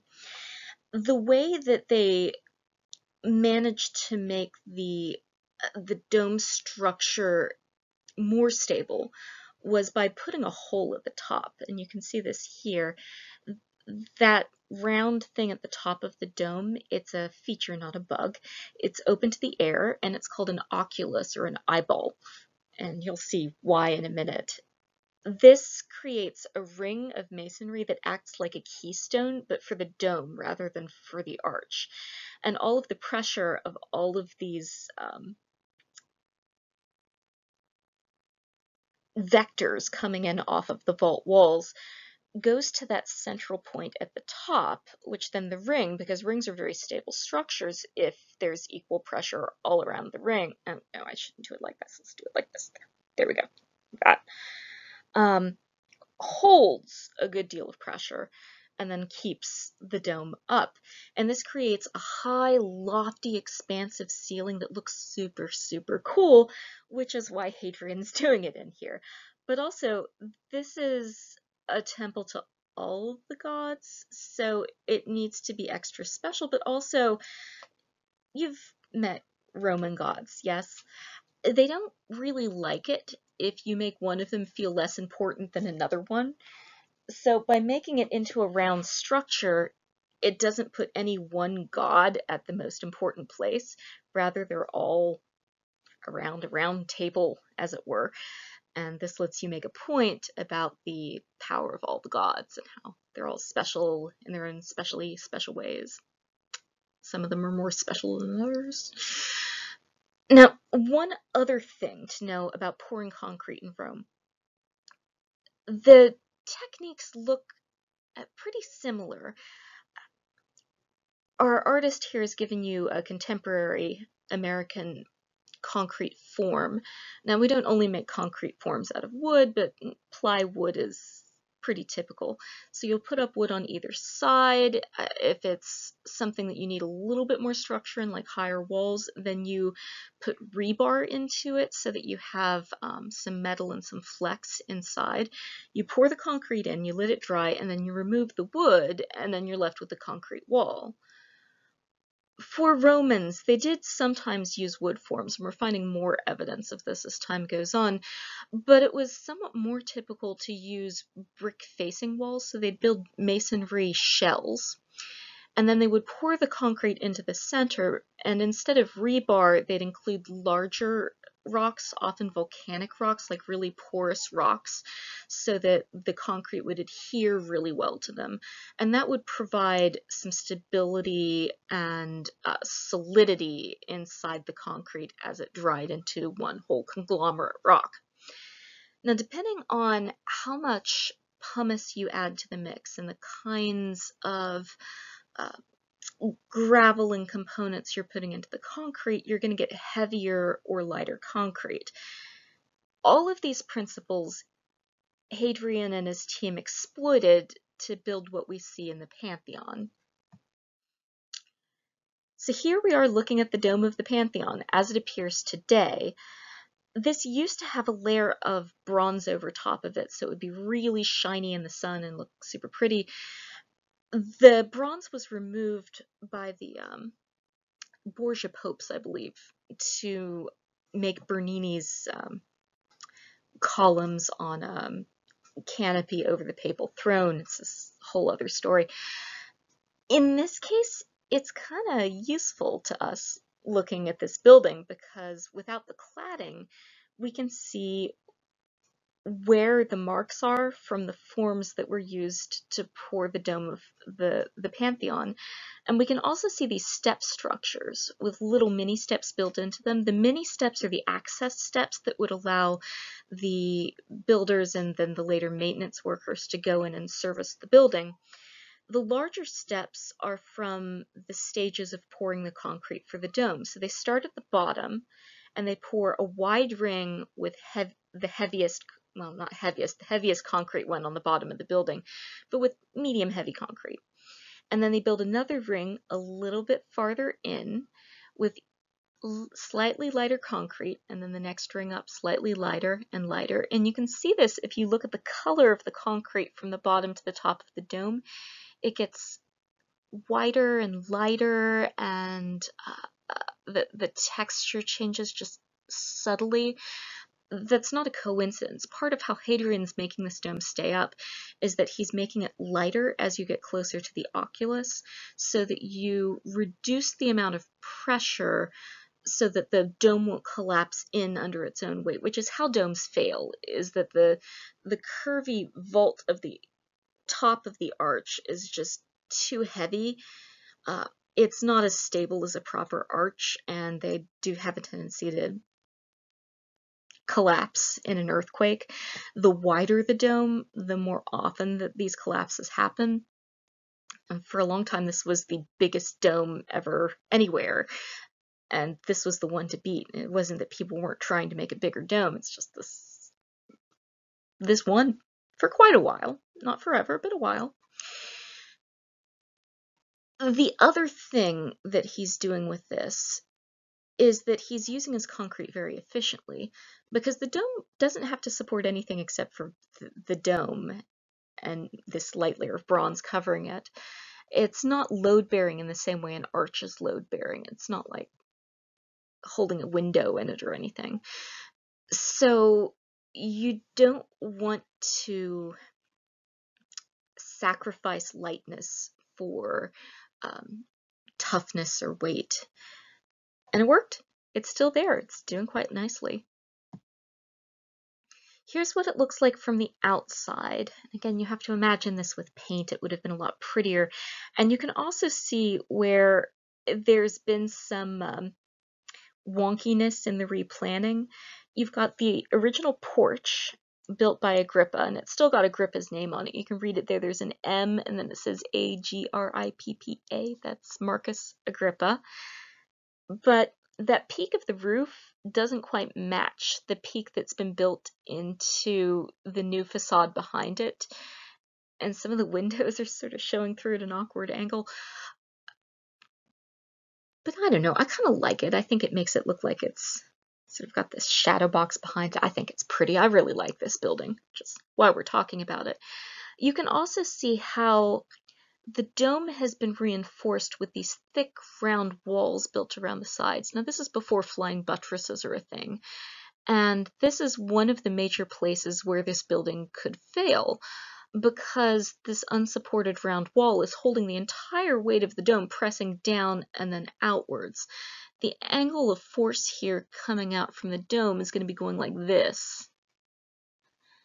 And that means that this part of the wall here is going to experience a lot of thrust force. So the wall has to be built very thickly to accommodate this. And there are also these reinforcing rings around the side here, here, here that are part of the structure that's meant to be reinforcing against the outward pressure here. Now, eventually, uh, flying buttresses are structures that create, they, here, I'll do this in green. Let's do this in green so a flying buttress will look like this, and it's basically like building an arch onto the side to take some of that pressure and redirect it away from the building. It's a nifty idea. This is how the cathedrals of Europe solved this design problem. Uh, Romans didn't quite do that yet, although they're, they're getting there. Give them time. Okay, let's look at the inside the inside of the Pantheon, and this is what I mean by the oculus being called uh, the eyeball. Oculus is Latin for eyeball. This is a design feature, yes, but it's also part of the theological structure of this building. The light streaming in from the overhead eyeball creates a shaft of light that moves as the sun moves across the sky during the day and also moves with the seasons, now illuminating one god, now illuminating another god.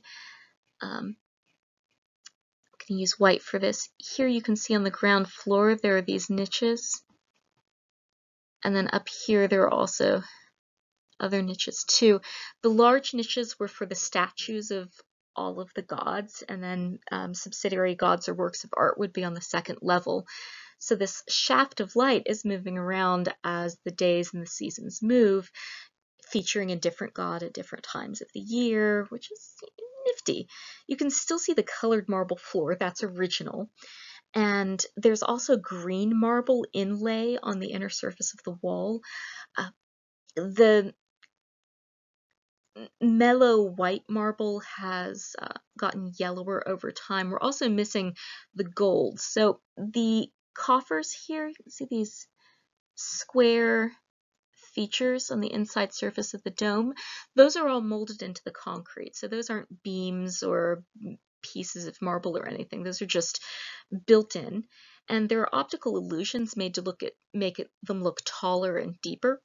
These would have been covered with gilding, so gold leaf and then some paint. So this would have been shiny and otherworldly. It's just a nifty, nifty building. All of it made possible due to our friend, Roman concrete. Now, this is a sample of Roman water, uh, saltwater setting concrete, which isn't quite the formula used to build the Pantheon. Uh, but just so you can see what this looks like on a microscopic level, the little flecks of black are the volcanic stone, and you can also see the gray ash. Uh, included here too is um, lime, so you take limestone and you cook it in a kiln, and this causes a chemical change that makes it more reactive. We still do this to make concrete. Modern concrete still sets due to a chemical reaction. It's just not saltwater dependent like the Roman version is. I think they're in the process of making a commercial version of this. This is nifty. I hope someday to have a concrete countertop made out of Roman concrete. That would make me very happy. But I'm not that wealthy. Here's a fisheye lens to give you another view of the Pantheon. It's just amazing. And this is as close as you can get without being in it to getting a sense of what it feels like to be in this space. Uh, the engineering is fantastic, but it's also a, a place that has a real feel of spirituality, of connection to the seasons and to nature uh, through the way that light interacts with the internal space. It's really just this otherworldly venue where you can uh, get a sense for the sacredness, yes, of the Roman pantheon, but also the the overwhelming power that this is meant to project. Again, these are the state gods. These are the big ones that are in the state sponsored temples that are a part of how the imperial family is solidifying power. This is at a time where emperors are now being deified and included into the pantheon. So, part of the point of this space is not just to be pious and give glory to the gods, but also to make a point about the power of the emperors as being related to the power of the gods. Overarching as the sky overarches the earth, so too the roof of the pantheon overarches Romans as they come into this space. This is an expression of domination. It's a power move. Hadrian's not just doing this because it's his cute little hobby this is how you make people believe in your power and submit to it and cooperate with it. You know, just keep this in mind. Used in good health, I guess. All right, so from the sublime to the mundane, but still super nifty, we are on to the Roman road structures. Now, Roman roads are a thing that everywhere Romans show up, the roads follow. We used to think that what Romans would do is build new ro- roadways and places to mark their newfound command over landscape that they were in the process of conquering. And that's part of what's going on, certainly. But we find a pattern of existing roads covered over with Roman roads and some of them are decently built roads. So again, Romans aren't the only people who can build roads, and they aren't like super road geniuses who are better than other people because of roads. Uh, uh, it sounds stupid when I say it like this, but I have to say it because there are some people, um, namely the History Channel, who make this big deal out of like, you know, oh, the Romans and their greatness and their domination because of roads, which is what the Romans want you to think. Um, nevertheless, the, the roads are awesome. And much like the aqueducts, you have all of these roads because you have a lot of bored legions. And when legions get bored, they do stuff that starts rebellions more frequently than they start rebellions anyway. So one of the things that Rome would do to keep its soldiers occupied is make them build roads. And this was a win-win because the better the roads, the better the communication, the better the communication, the easier it was for military forts to keep in touch with each other, the easier they could keep in touch with each other, the easier they could intervene when things got violent. So roads are not politically neutral is what I'm saying. Roads structure which towns get which traffic. They structure which people can talk to other people, namely the Roman military. They allow the Roman military to control who's talking to whom and who's traveling where. You can avoid the Roman road system, but you're going to be taking a lot more time to go where you need to go. And if you try to build your own roads, the Romans are sure going to notice because they're they're on top of that all of this is to say part of why Romans are being so extra about their road building is that they have to. One of the best tools of empire is a road system. And if you think about it for a minute, that's still true today, right? Having a good road system means more trade, it means more efficient uh, shipping and maneuvering. It's easier for people to commute into and out of your communities. And it's also just, it, it makes the place seem more stable and better run. if you're a politician who keeps the roads looking nice and fills in the potholes like a responsible community leader, then you're going to have political goodwill, but you're also showing that you're an effective leader. Without any further ado, then, Roman road structure. Uh, they do what we still do if we want to make a road good and solid and last long. Now, Roman roads didn't have to put up with the level of vibration that we do with modern traffic because the traffic isn't moving as fast, right? And nobody's driving 80 miles an hour down a Roman road until the 20th century. But it still has to handle a lot of frequent variable cartwheel traffic that's going to cause uh, damage to the surface and you need a surface that's going to not crack with variations in temperature, but is also going to be stable. It's going to shed rainwater. It's not going to get muddy. It's going to be as usable as possible for the most months out of the year as possible. Roman roads do that. And this begins with the foundation laying. Now, the one that we're looking at, the Via Appia, is the main road into the city of Rome. And the, there are people down the way a little bit. Here's some, some people, give you an idea of the scale here. So th these aren't very wide. This is wide enough that you can have carts coming one way and they can pass carts going the other way. So these tend not to be too sprawling, but that's for a good reason. The wider the road, the more it has a tendency to dip in the middle, or at least at the wheel ruts, and to cause difficulties for traffic. Now, roadways made for driving sheep are made differently than roadways made for driving cart traffic. Uh, sheep roads tend to have hedges on either side because if you don't have hedges, the sheep will just like go everywhere. Um, this particular stretch of road also over the years is built up on the sides as people have cleared off the road. That's made uh, the sides of the road puff up. That's not how it would have been built initially. Uh, you can also see in the sides grave monuments. As mentioned earlier, this is where people are buried is outside of the city with these monuments facing the roadside. This is also where you go to pee when you're traveling. But be careful because werewolves hang out here too, so, you know. Yeah, Romans had werewolves. Uh, Roman werewolves, by the way, had a specific supernatural power that I've yet to see in any of the many werewolf books I've read. Namely, werewolves, when they take off their clothing to change into a wolf, pee in a circle around the clothing, and then the clothing turns to stone so nobody can steal it until the werewolf can come back and take up the clothing which is just the most Roman thing I've ever heard of. They're really worried about people stealing their clothes because clothes are easy to steal and they're really expensive.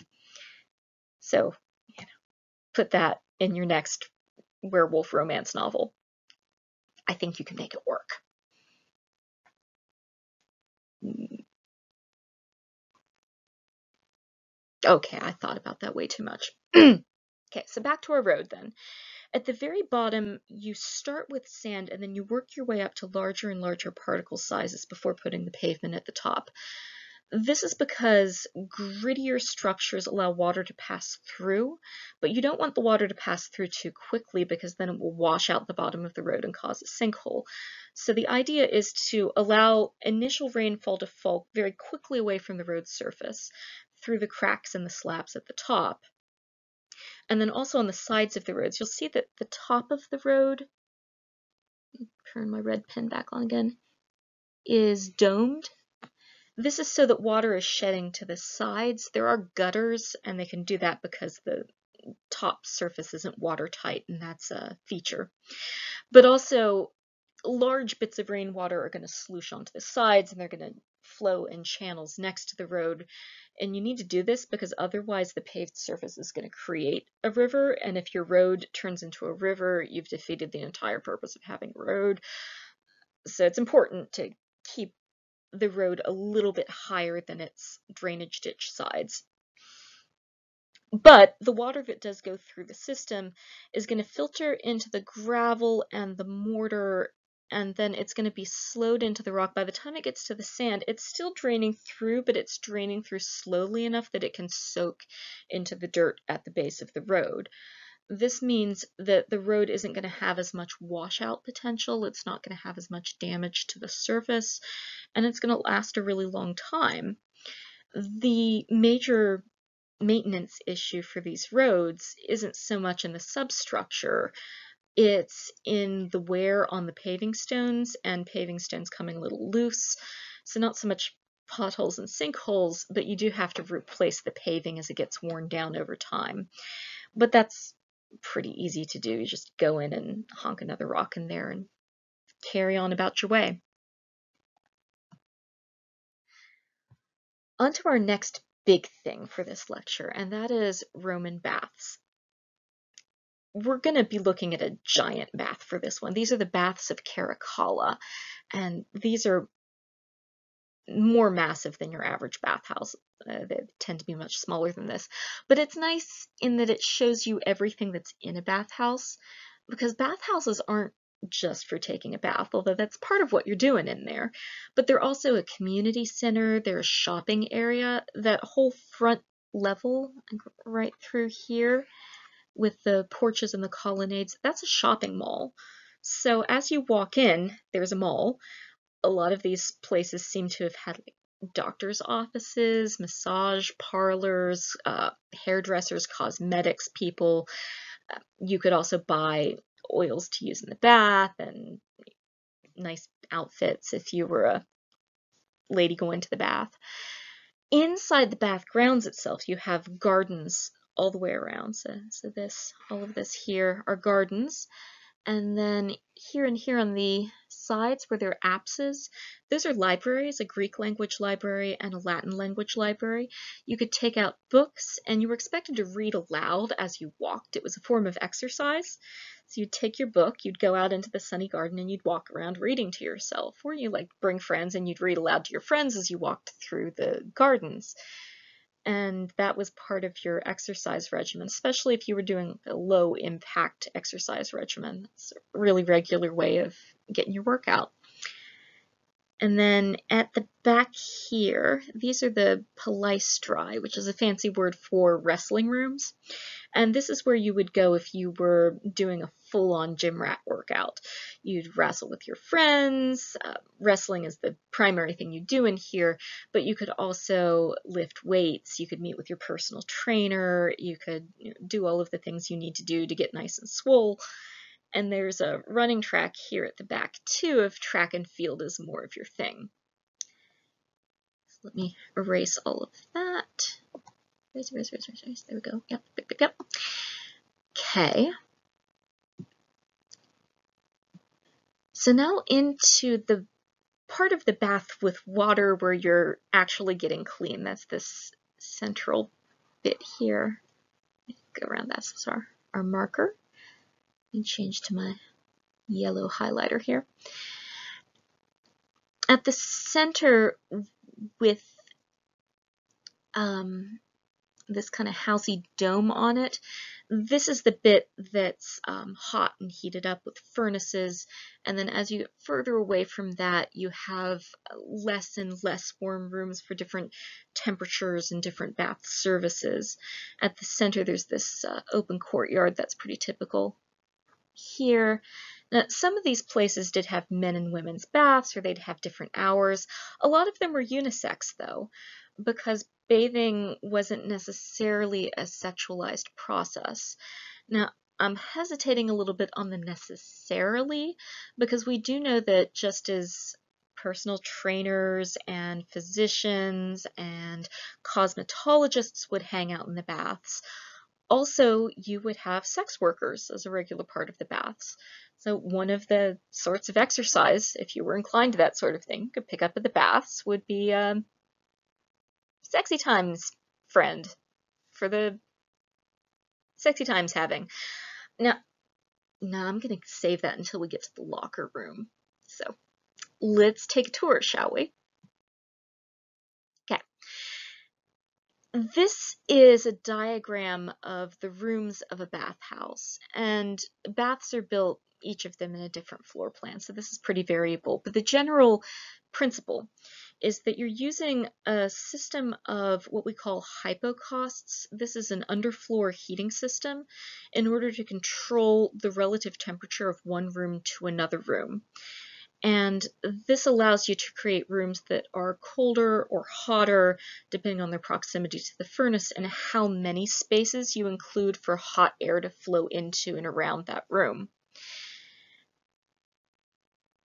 I've got another diagram with the rooms labeled in English rather than Latin, but this I like because it gives you a nice cutaway view of the hypocaust system. Hypocaustum is what it's got spelled out there. And then it shows a little bit of the boiler room. You can see up here there are these uh, jars. So these are the hot water vessels being heated before delivery to the bath itself. All of this would have been operated by a bunch of enslaved bathhouse operators. If it were imperial bathhouses, these might be civil servants. Sometimes they were privately owned or quasi-privately owned. They would be in charge of making sure that everything was heated up, that stuff got cleaned. Uh, ancient sources suggest that the cleaning didn't happen as frequently as one might have wished. Bathhouses were probably pretty manky, I can say. And this is why it's tempting to look at this and be like, oh, yeah, they're bathing, there's hygiene. And yeah, okay, they are bathing and there is hygiene. But this is a space where sick people would go to more frequently than well people, but they'd still be hanging out in populations of sick people going to the baths for their health with healthy people who are just going to the bath to bathe. They're sharing bath water, they're packed in very closely into um, crowded rooms where everybody's sweating together and then they're going off to wrestle. This is uh, already a pretty good environment for disease transmission, but you've got a lot of nice warm-ish rooms. The very, very hot rooms might be hot enough to kill some of the gunk growing in there, but most of these rooms are hot and humid for long periods of time with lots of people going in and leaving their grimy griminess. So much so that one of the pharmaceutical products coming from the baths that was used in preparations was this stuff called rupos.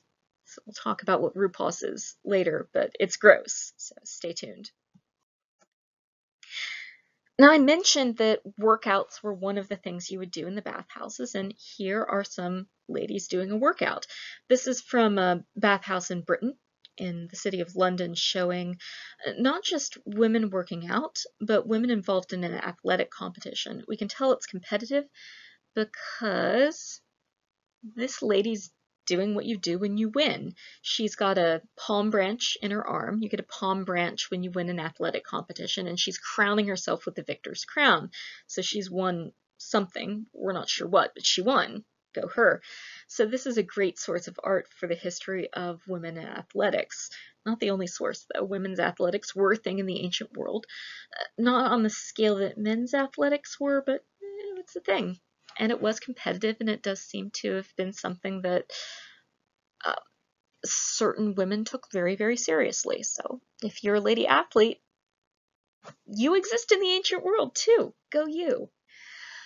They're wearing uh, subligarian fascia, so they're the underpants thingies and the kind of bra breastband things we have found these made out of leather. As I mentioned in the underwear lecture, we found one in the River Thames. There are a few more we found. But that seems to have been a, a fashion statement as much as anything. Uh, we probably see a or not probably see i'm being hedgy because this kind of garment just doesn't survive it ends up as rags and then used to death but literary evidence suggests that regularly out under your clothes you'd wear this made of linen, maybe wool, but linen is better. It doesn't stretch out as much over time. So probably these women are mostly wearing linen wraps, but we also do find athletic wear made out of leather too. leather doesn't feel great in the hot, moist environment of a bathhouse, but it also has a tendency to stay on you a bit better than other forms of natural fabrics. dealer's choice, I guess. The other thing going on here that I find interesting, oh, we also point out she's got barbells, so hand weights are a thing. And then here we've got a foot race. Uh, she's tossing tossing a discus, and then these two are playing a game called small ball because it's a small ball, but we know that's the name of the game. We don't know what the rules are. Some athletic historians have tried to figure out the rules of small ball. It, it seems to have been a little bit like hacky sack, maybe, but this was a big time sport that was regularly played by people of all ages. I mentioned wrestling is a thing you do in the gym. Um, not so much for women's workouts, this was very gendered, but for men, and not just men who were professional wrestling athletes either. This was a regular part of how you would work out with your male friends if you yourself were a male person in ancient Rome you and your buddies would all go to the bathhouse. You would take off your clothes, you'd cover yourself in olive oil, and then you'd dust yourself in a gritty sandy mixture, and then you would wrestle with each other like these guys are doing here. They have a trainer with them helping them and also acting as a referee. And you grapple with each other until you were nice and hot and sweaty, and then you'd go to the next bits of the bath. But putting on olive oil, working er, putting on olive oil and a little bit of dust and then working out is an essential step in the bathing process as well as the workout process. The grit is there partially to give some traction for the grapple checks that you're you're doing while you're wrestling with your friends, but it's also part of the exfoliation process here. All right, so in the bathhouse proper, also this is part of the athletic bit, women too, although there this seems to have varied a lot more by place. Uh, some women would work out still in their underwear. Some seem to have worked out naked just like men. Uh, but men definitely would be naked for the bath. And for the bathing part, women also would be naked for this. Uh, this, again, wasn't a highly sexualized process uh, in and of itself. And indeed, it wasn't for well into the, the 1400s. We have this vision of the Middle Ages as being this bath free zone. Uh, that's not correct. That's the Renaissance, actually. Um, before the Renaissance, bathhouses were a thing that you'd have in the medieval city people would go to. Uh, they got associated with prostitution at one point, which is why you had to move away from them. But for most of the Middle Ages, people took baths. Sorry. Uh, now, again, we're about to talk about why that uh, not necessarily good hygiene news, but uh, you know, it's unfair to think of medieval people as grody. That's um, unkind. Right. So here we are looking at the apodyterium, which is the Greek word for the take it off place, which is great because that's what you do with it. Um, side note, the word gymnasion or gymnasium in Greek means the place of the naked people because you work out in the nude. Therefore, the gym is the place where you go to get naked for working out. You'll notice there aren't any doors on the locker. Yeah, that's because the security system wasn't doors with locks. Rather, you would leave your enslaved attendant to watch your stuff while you went off to take your bath. They're very high up to make it hard to reach into them without somebody noticing, but essentially your lock for the locker was the enslaved person you brought with you. If you were extra fancy, you'd bring an enslaved person to help you bathe too. So this is something like a lot of other stuff in Rome that doesn't happen without some sort of labor. If you didn't own someone, then you'd go with friends and you'd get your friends to do this kind of bathing stuff that you need extra hands to do. And this was considered perfectly fine. It wasn't sexualized. However, I did mention there's a story about sex in locker rooms, and that has to do with this one team we know about because of a poem of Catullus. I didn't have you read this one, but apparently, and, and here's where it gets depressing, there was this father-son clothing stealing ring working out of a bathhouse in Rome during Catullus's time, where the son was the sex worker um, trafficked by his father. And while the son was with a client, the father would go steal the client's clothing out of the locker room. And then when the, the client got back to the locker, ah, the clothing would be gone. But that would have been a really great business model if you were slightly nefarious in ancient Rome and didn't care about trafficking your kid. But it, that doesn't seem to be like a typical everyday locker room experience. Mostly it's just people coming in, taking off their clothes, and getting ready to go get hot and bathe. Next up, and here I'm going to go from coldest to hottest just to make it easier to keep this in your mind, but this isn't the order that you would bathe in. That would be variable. The order of hot to cold rooms that you would bathe in was dependent on the season, your personal preference, your situation. And one of the things that ancient doctors would do is that they would prescribe bathing regimens that would be keyed to your specific health condition. So, how long you spend in the hot bits of the bath, uh, when you jump into the cold pool, all of this would be something that varies. At any rate, the frigidarium is pretty much what it sounds like. This is the cold room because it has no places for hot air to come in. If you look at the subfloor here on our illustration, uh, let me turn back to my highlighter here. Is it, oh, yellow's not showing up. Great. Should have gone with the pen. Yellow is a really unfortunate choice of colors for a swimming pool, isn't it? Alrighty, so there's the major plunge pool. Now, Frigidaria cold rooms don't always have a plunge pool in them. This is a nice extra for fancy cold rooms. Some of them just have a basin of water that you can splash in if it's low rent, but underneath the floor, you see it's just like foundation stones there isn't any place for warm air to come from below. That's how it stays cold. So this is as cold as marble that isn't in the sun can get. Often this has a domed roof, which you can see here. It's the oculus, the domed roof of this particular nice frigidarium. Now sometimes these would have large swimming pools, but usually it's just a plunge pool. And this performs a function similar to jumping in a cold lake, if you're going to a Swedish sauna, you just jump in this to really quickly close up your pores and uh, firm things up.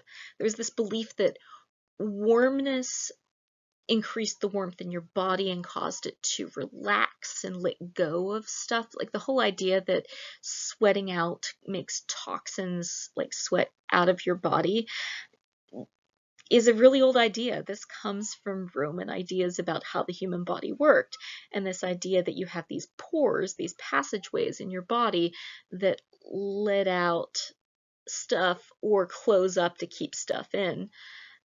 The Frigidarium used the idea that coldness causes these pores to close up and it causes your flesh to firm up and, and contract a bit. So the idea that cold water closes your pores that there is Roman. Next, we have the tepidarium, which is just what it sounds like. It is the tepid water room, and not necessarily tepid either. Now this is even more water optional than the frigidarium. You don't even need a splash basin for this room. You just have a a room that was room temperature. The large windows would allow it to stay kind of roomy temperature. And this was meant to be a nice medium neutral room.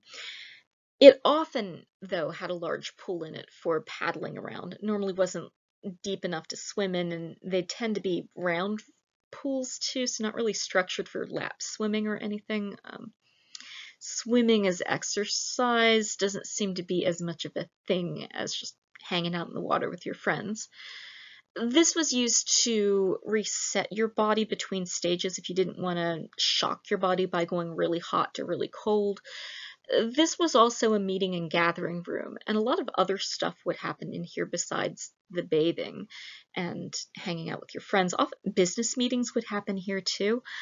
Uh, we find gaming pieces, so people would gamble, they'd um, buy stuff. Often cosmetic services would happen here. So you might go here to get your shave and your hair cut, uh, to get your body waxed. Body waxing was a big business for ancient folks, and we find a lot of tweezers in this bit of bathhouses. Next up, the hottest of the hot, the caldarium and laconicum. So a caldarium is a hot room, usually with a hot tub. Um, in fact, almost always with a hot tub in it. A laconicum is an even hotter room that doesn't necessarily have a tub in it. This is a dry heat room. So the caldarium is for wet heat. It's a steamy, steamy sauna hot tub room. The laconicum generally has a sand floor. There'll be like a ceramic floor that there would be sand on top of, and then the floor and the walls would be heated really hot. This is right next to the furnace, and it would be like sweltering, nasty, dry heat. Well, nasty, dry heat. And at the very end, you see this basin here, this is a splash pool, so you can splash your face. Now, this could get very dangerous because thermostats aren't an invention in the ancient world. And if you stay long enough, you could give yourself heat stroke, you could die, and people could and did cook themselves to death while sitting in Caldaria and Laconica. So just be careful. Here's the floor plan to a caldarium, and I like this because it includes a cutaway that shows you the mechanics behind these rooms as well as the bits of it themselves. Everywhere you see these structures, you see these hollow bricks. These are made out of terracotta, and the ceramic is really good for retaining and radiating heat over time. Similarly, the subfloor has these open air spaces that are held up by stacks of more tiles. So these ceramic tiles allow air to pass around the columns, but the columns themselves heat up, retain heat, and then radiate the heat upwards into the room. And this is the general principle used for indoor heating all over the Roman Empire. They're really into this um, closed central heating system where you'd have a single furnace and then you'd use the principles of um, air distribution. Uh, the less dense hot air would be sucked up through the flues and the chimneys into colder areas of the house. And this would permeate the house and heat it from the floors and the, the walls.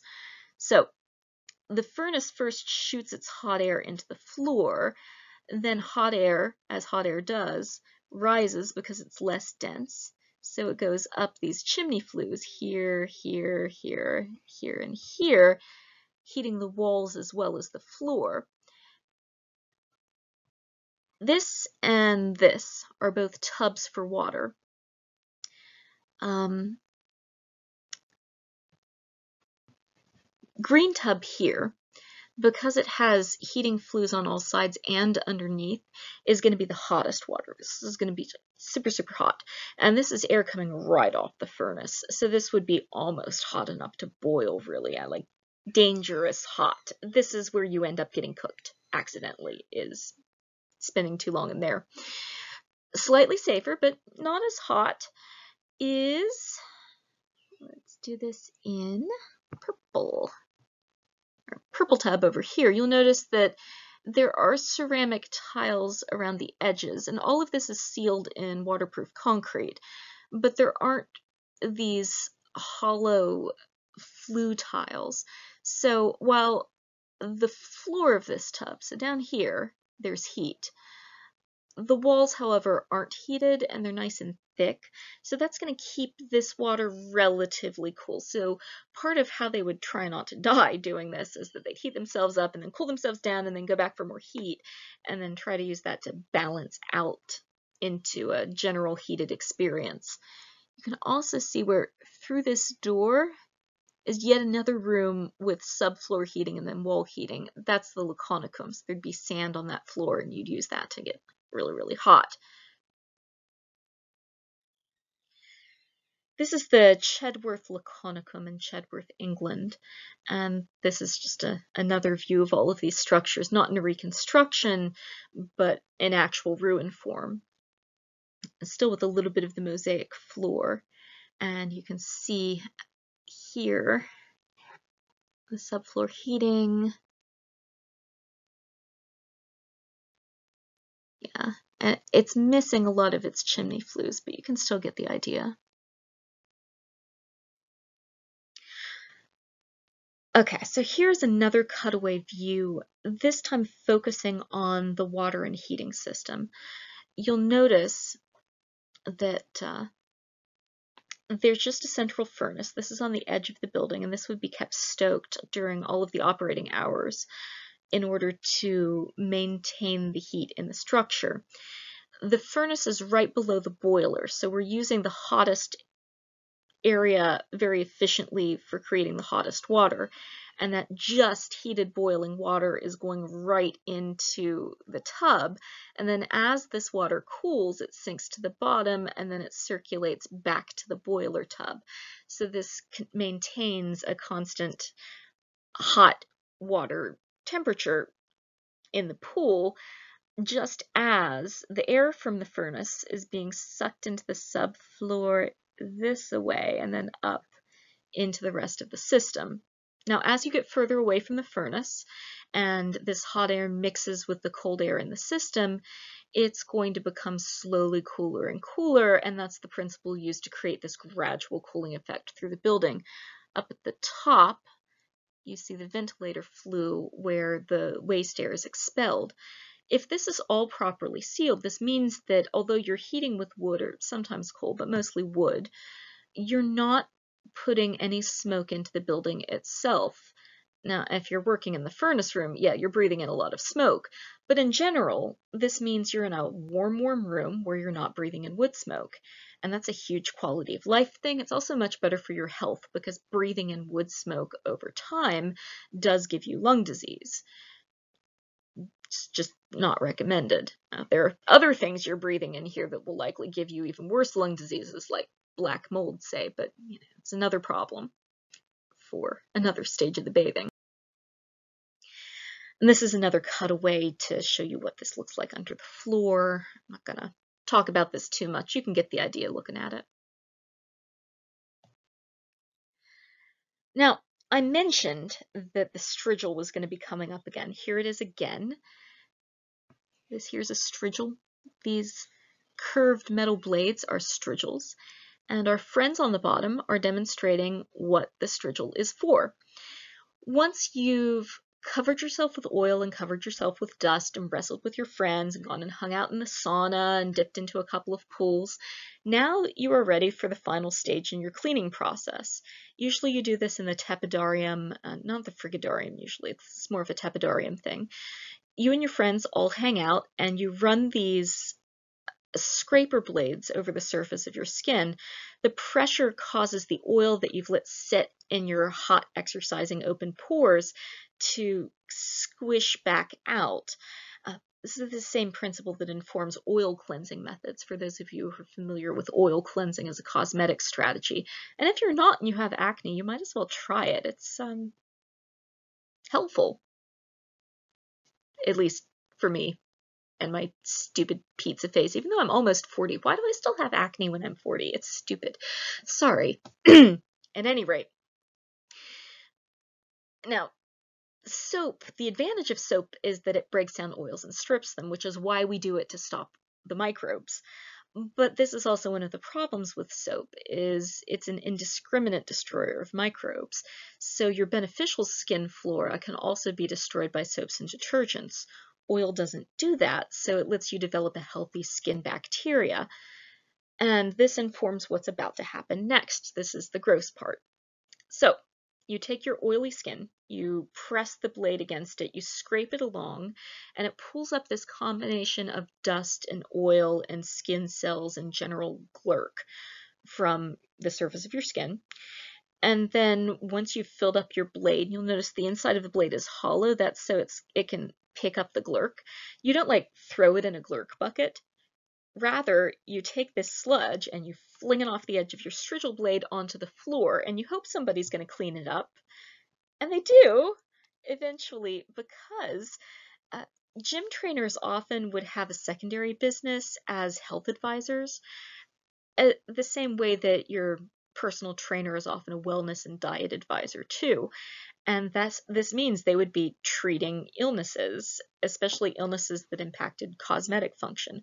There is also a belief that athlete sweat had special properties, that you could get some of that athletic goodness from an athlete's body and use it to heal yourself if your body was, say, underperforming or not vigorous enough.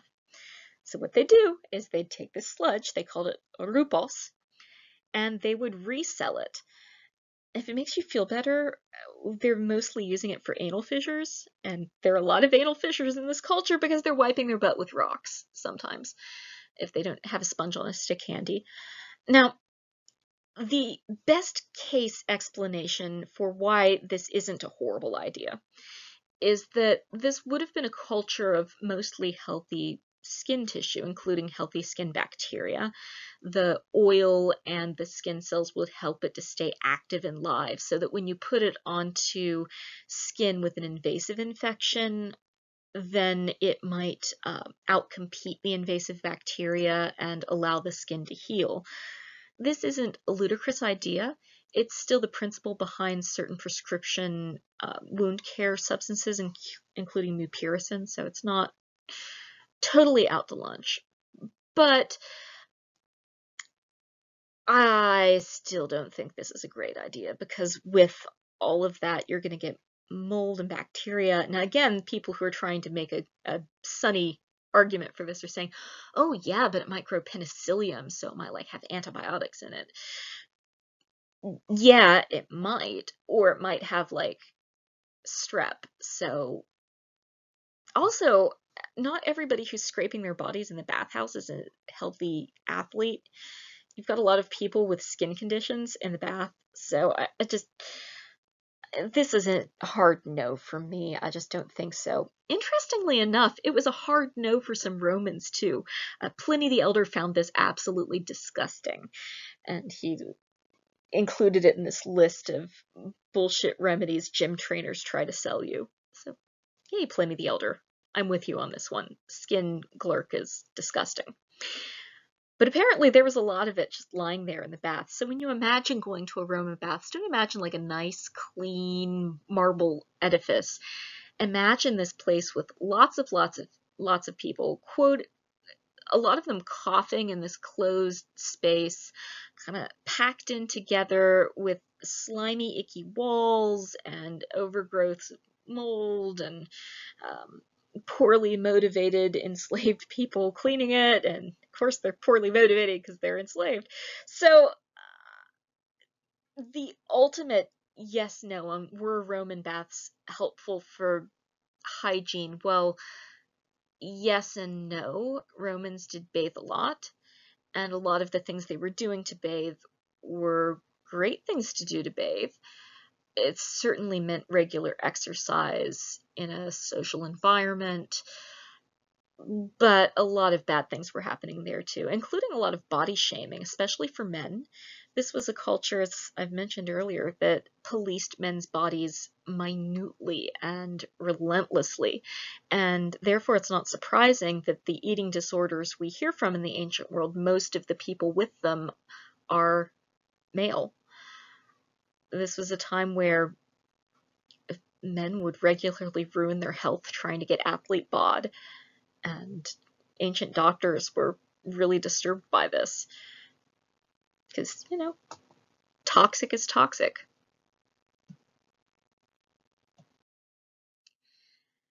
Now, I said that we find a lot of tweezers in bathhouses, and we do. Here is just a tiny selection of stuff found. I think this is the bathhouses in Bath, England including cosmetic applicators slash pharmaceutical instruments. The same instruments used for both. Uh, do you see this blade here in the middle? This kind of scary looking leaf shaped blade. This is a lancet. This is used to cut veins in order to bleed people. And this is evidence that medicine is being practiced in the baths by either doctors or gym trainers. We also have a lot of tweezers. Tweezers are used both for surgical procedures and for cosmetics. And then the scale here too, this very tiny scale, would be used to weigh and compound drugs and cosmetics. So uh, this is a beautician's kit. There's also this uh, whetstone here for sharpening razor blades. All of this would be used for your manscaping needs. You'll notice the body norms that we've seen when we've looked at naked Roman people, naked Roman men, not even the older guys, not a lot of body hair, yes. When was the last time you saw a lot of Italian men without body hair? Is all I'm saying. There was a lot of manscaping going on in the ancient world, and a lot of policing of like how much manscaping is too much manscaping. Oh, bless their hearts. Darling problematic Romans. But I'm going to leave you with a happy, tranquil image of a Roman garden from Pompeii. If you're wealthy, this is the kind of environment that you get to walk around and do your exercise reading. This is an urban villa too, so inside the city of Pompeii, you'd still have this enclosed environment with this pretty hedgerow with fountains that you could splash in. Really nice houses also had private baths where you could go with your family and you wouldn't have to share other people's icky skin gunk. Uh, so, you know, hygiene for Romans definitely was a thing. It's just hygiene for upper class Romans. The further you get away from this end of the spectrum, the more the win lose benefit analysis of hygiene gets a little uh, uneven and disturbing. But I said I'd leave you on a happy thought. So here, here is the happy thought. Romans had plumbing.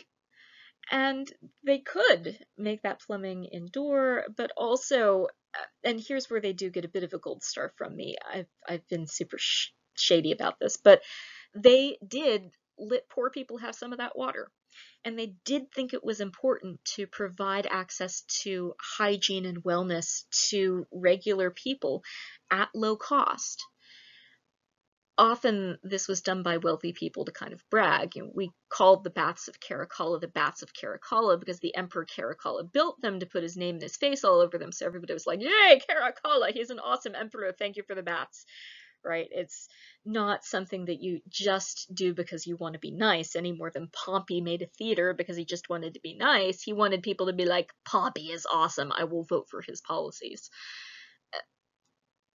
But nonetheless, this is a society that does place value on creating spaces where sick people can get rehabilitated, where people in crowded urban environments can go to work out, where people can go to have access to body care and treatment. And this is also a society that values wellness and doesn't consider it incompatible with the rest of your life too. Business meetings are happening in the bathhouses. Some of them have court spaces in them too. Uh, this is a, a society that integrates health and wellness and working out with the rest of its life for a lot of people in the society. Now, access is going to be limited if you're enslaved or if you're working and not in a position to have a lot of this free time, but it does seem to have been something that most Romans did and felt was fine and important. And so to the best of their abilities, they are investing in the kind of things that led to a generally, on balance, better than average health situation in the cities. Certainly, without the aqueducts and the bathhouses, well, Rome couldn't have gotten as big as it did, but also Rome couldn't have functioned as well as it did.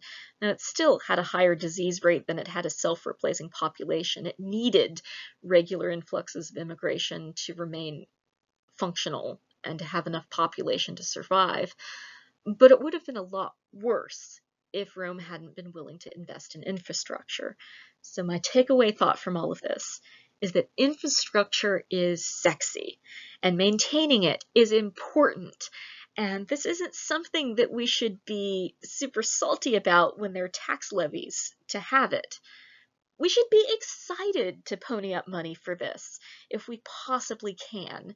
And of all of the things to spend our government money on, infrastructure is the one that gives you the highest rate of return, not just now, but for generations to come. But also, cutting corners on infrastructure is a false economy because you, when you invest in health and access and basics like running water, you are freeing up time and space for people to live better lives and to, if you want to think about people like this, I think it's a bit icky, but to be more productive.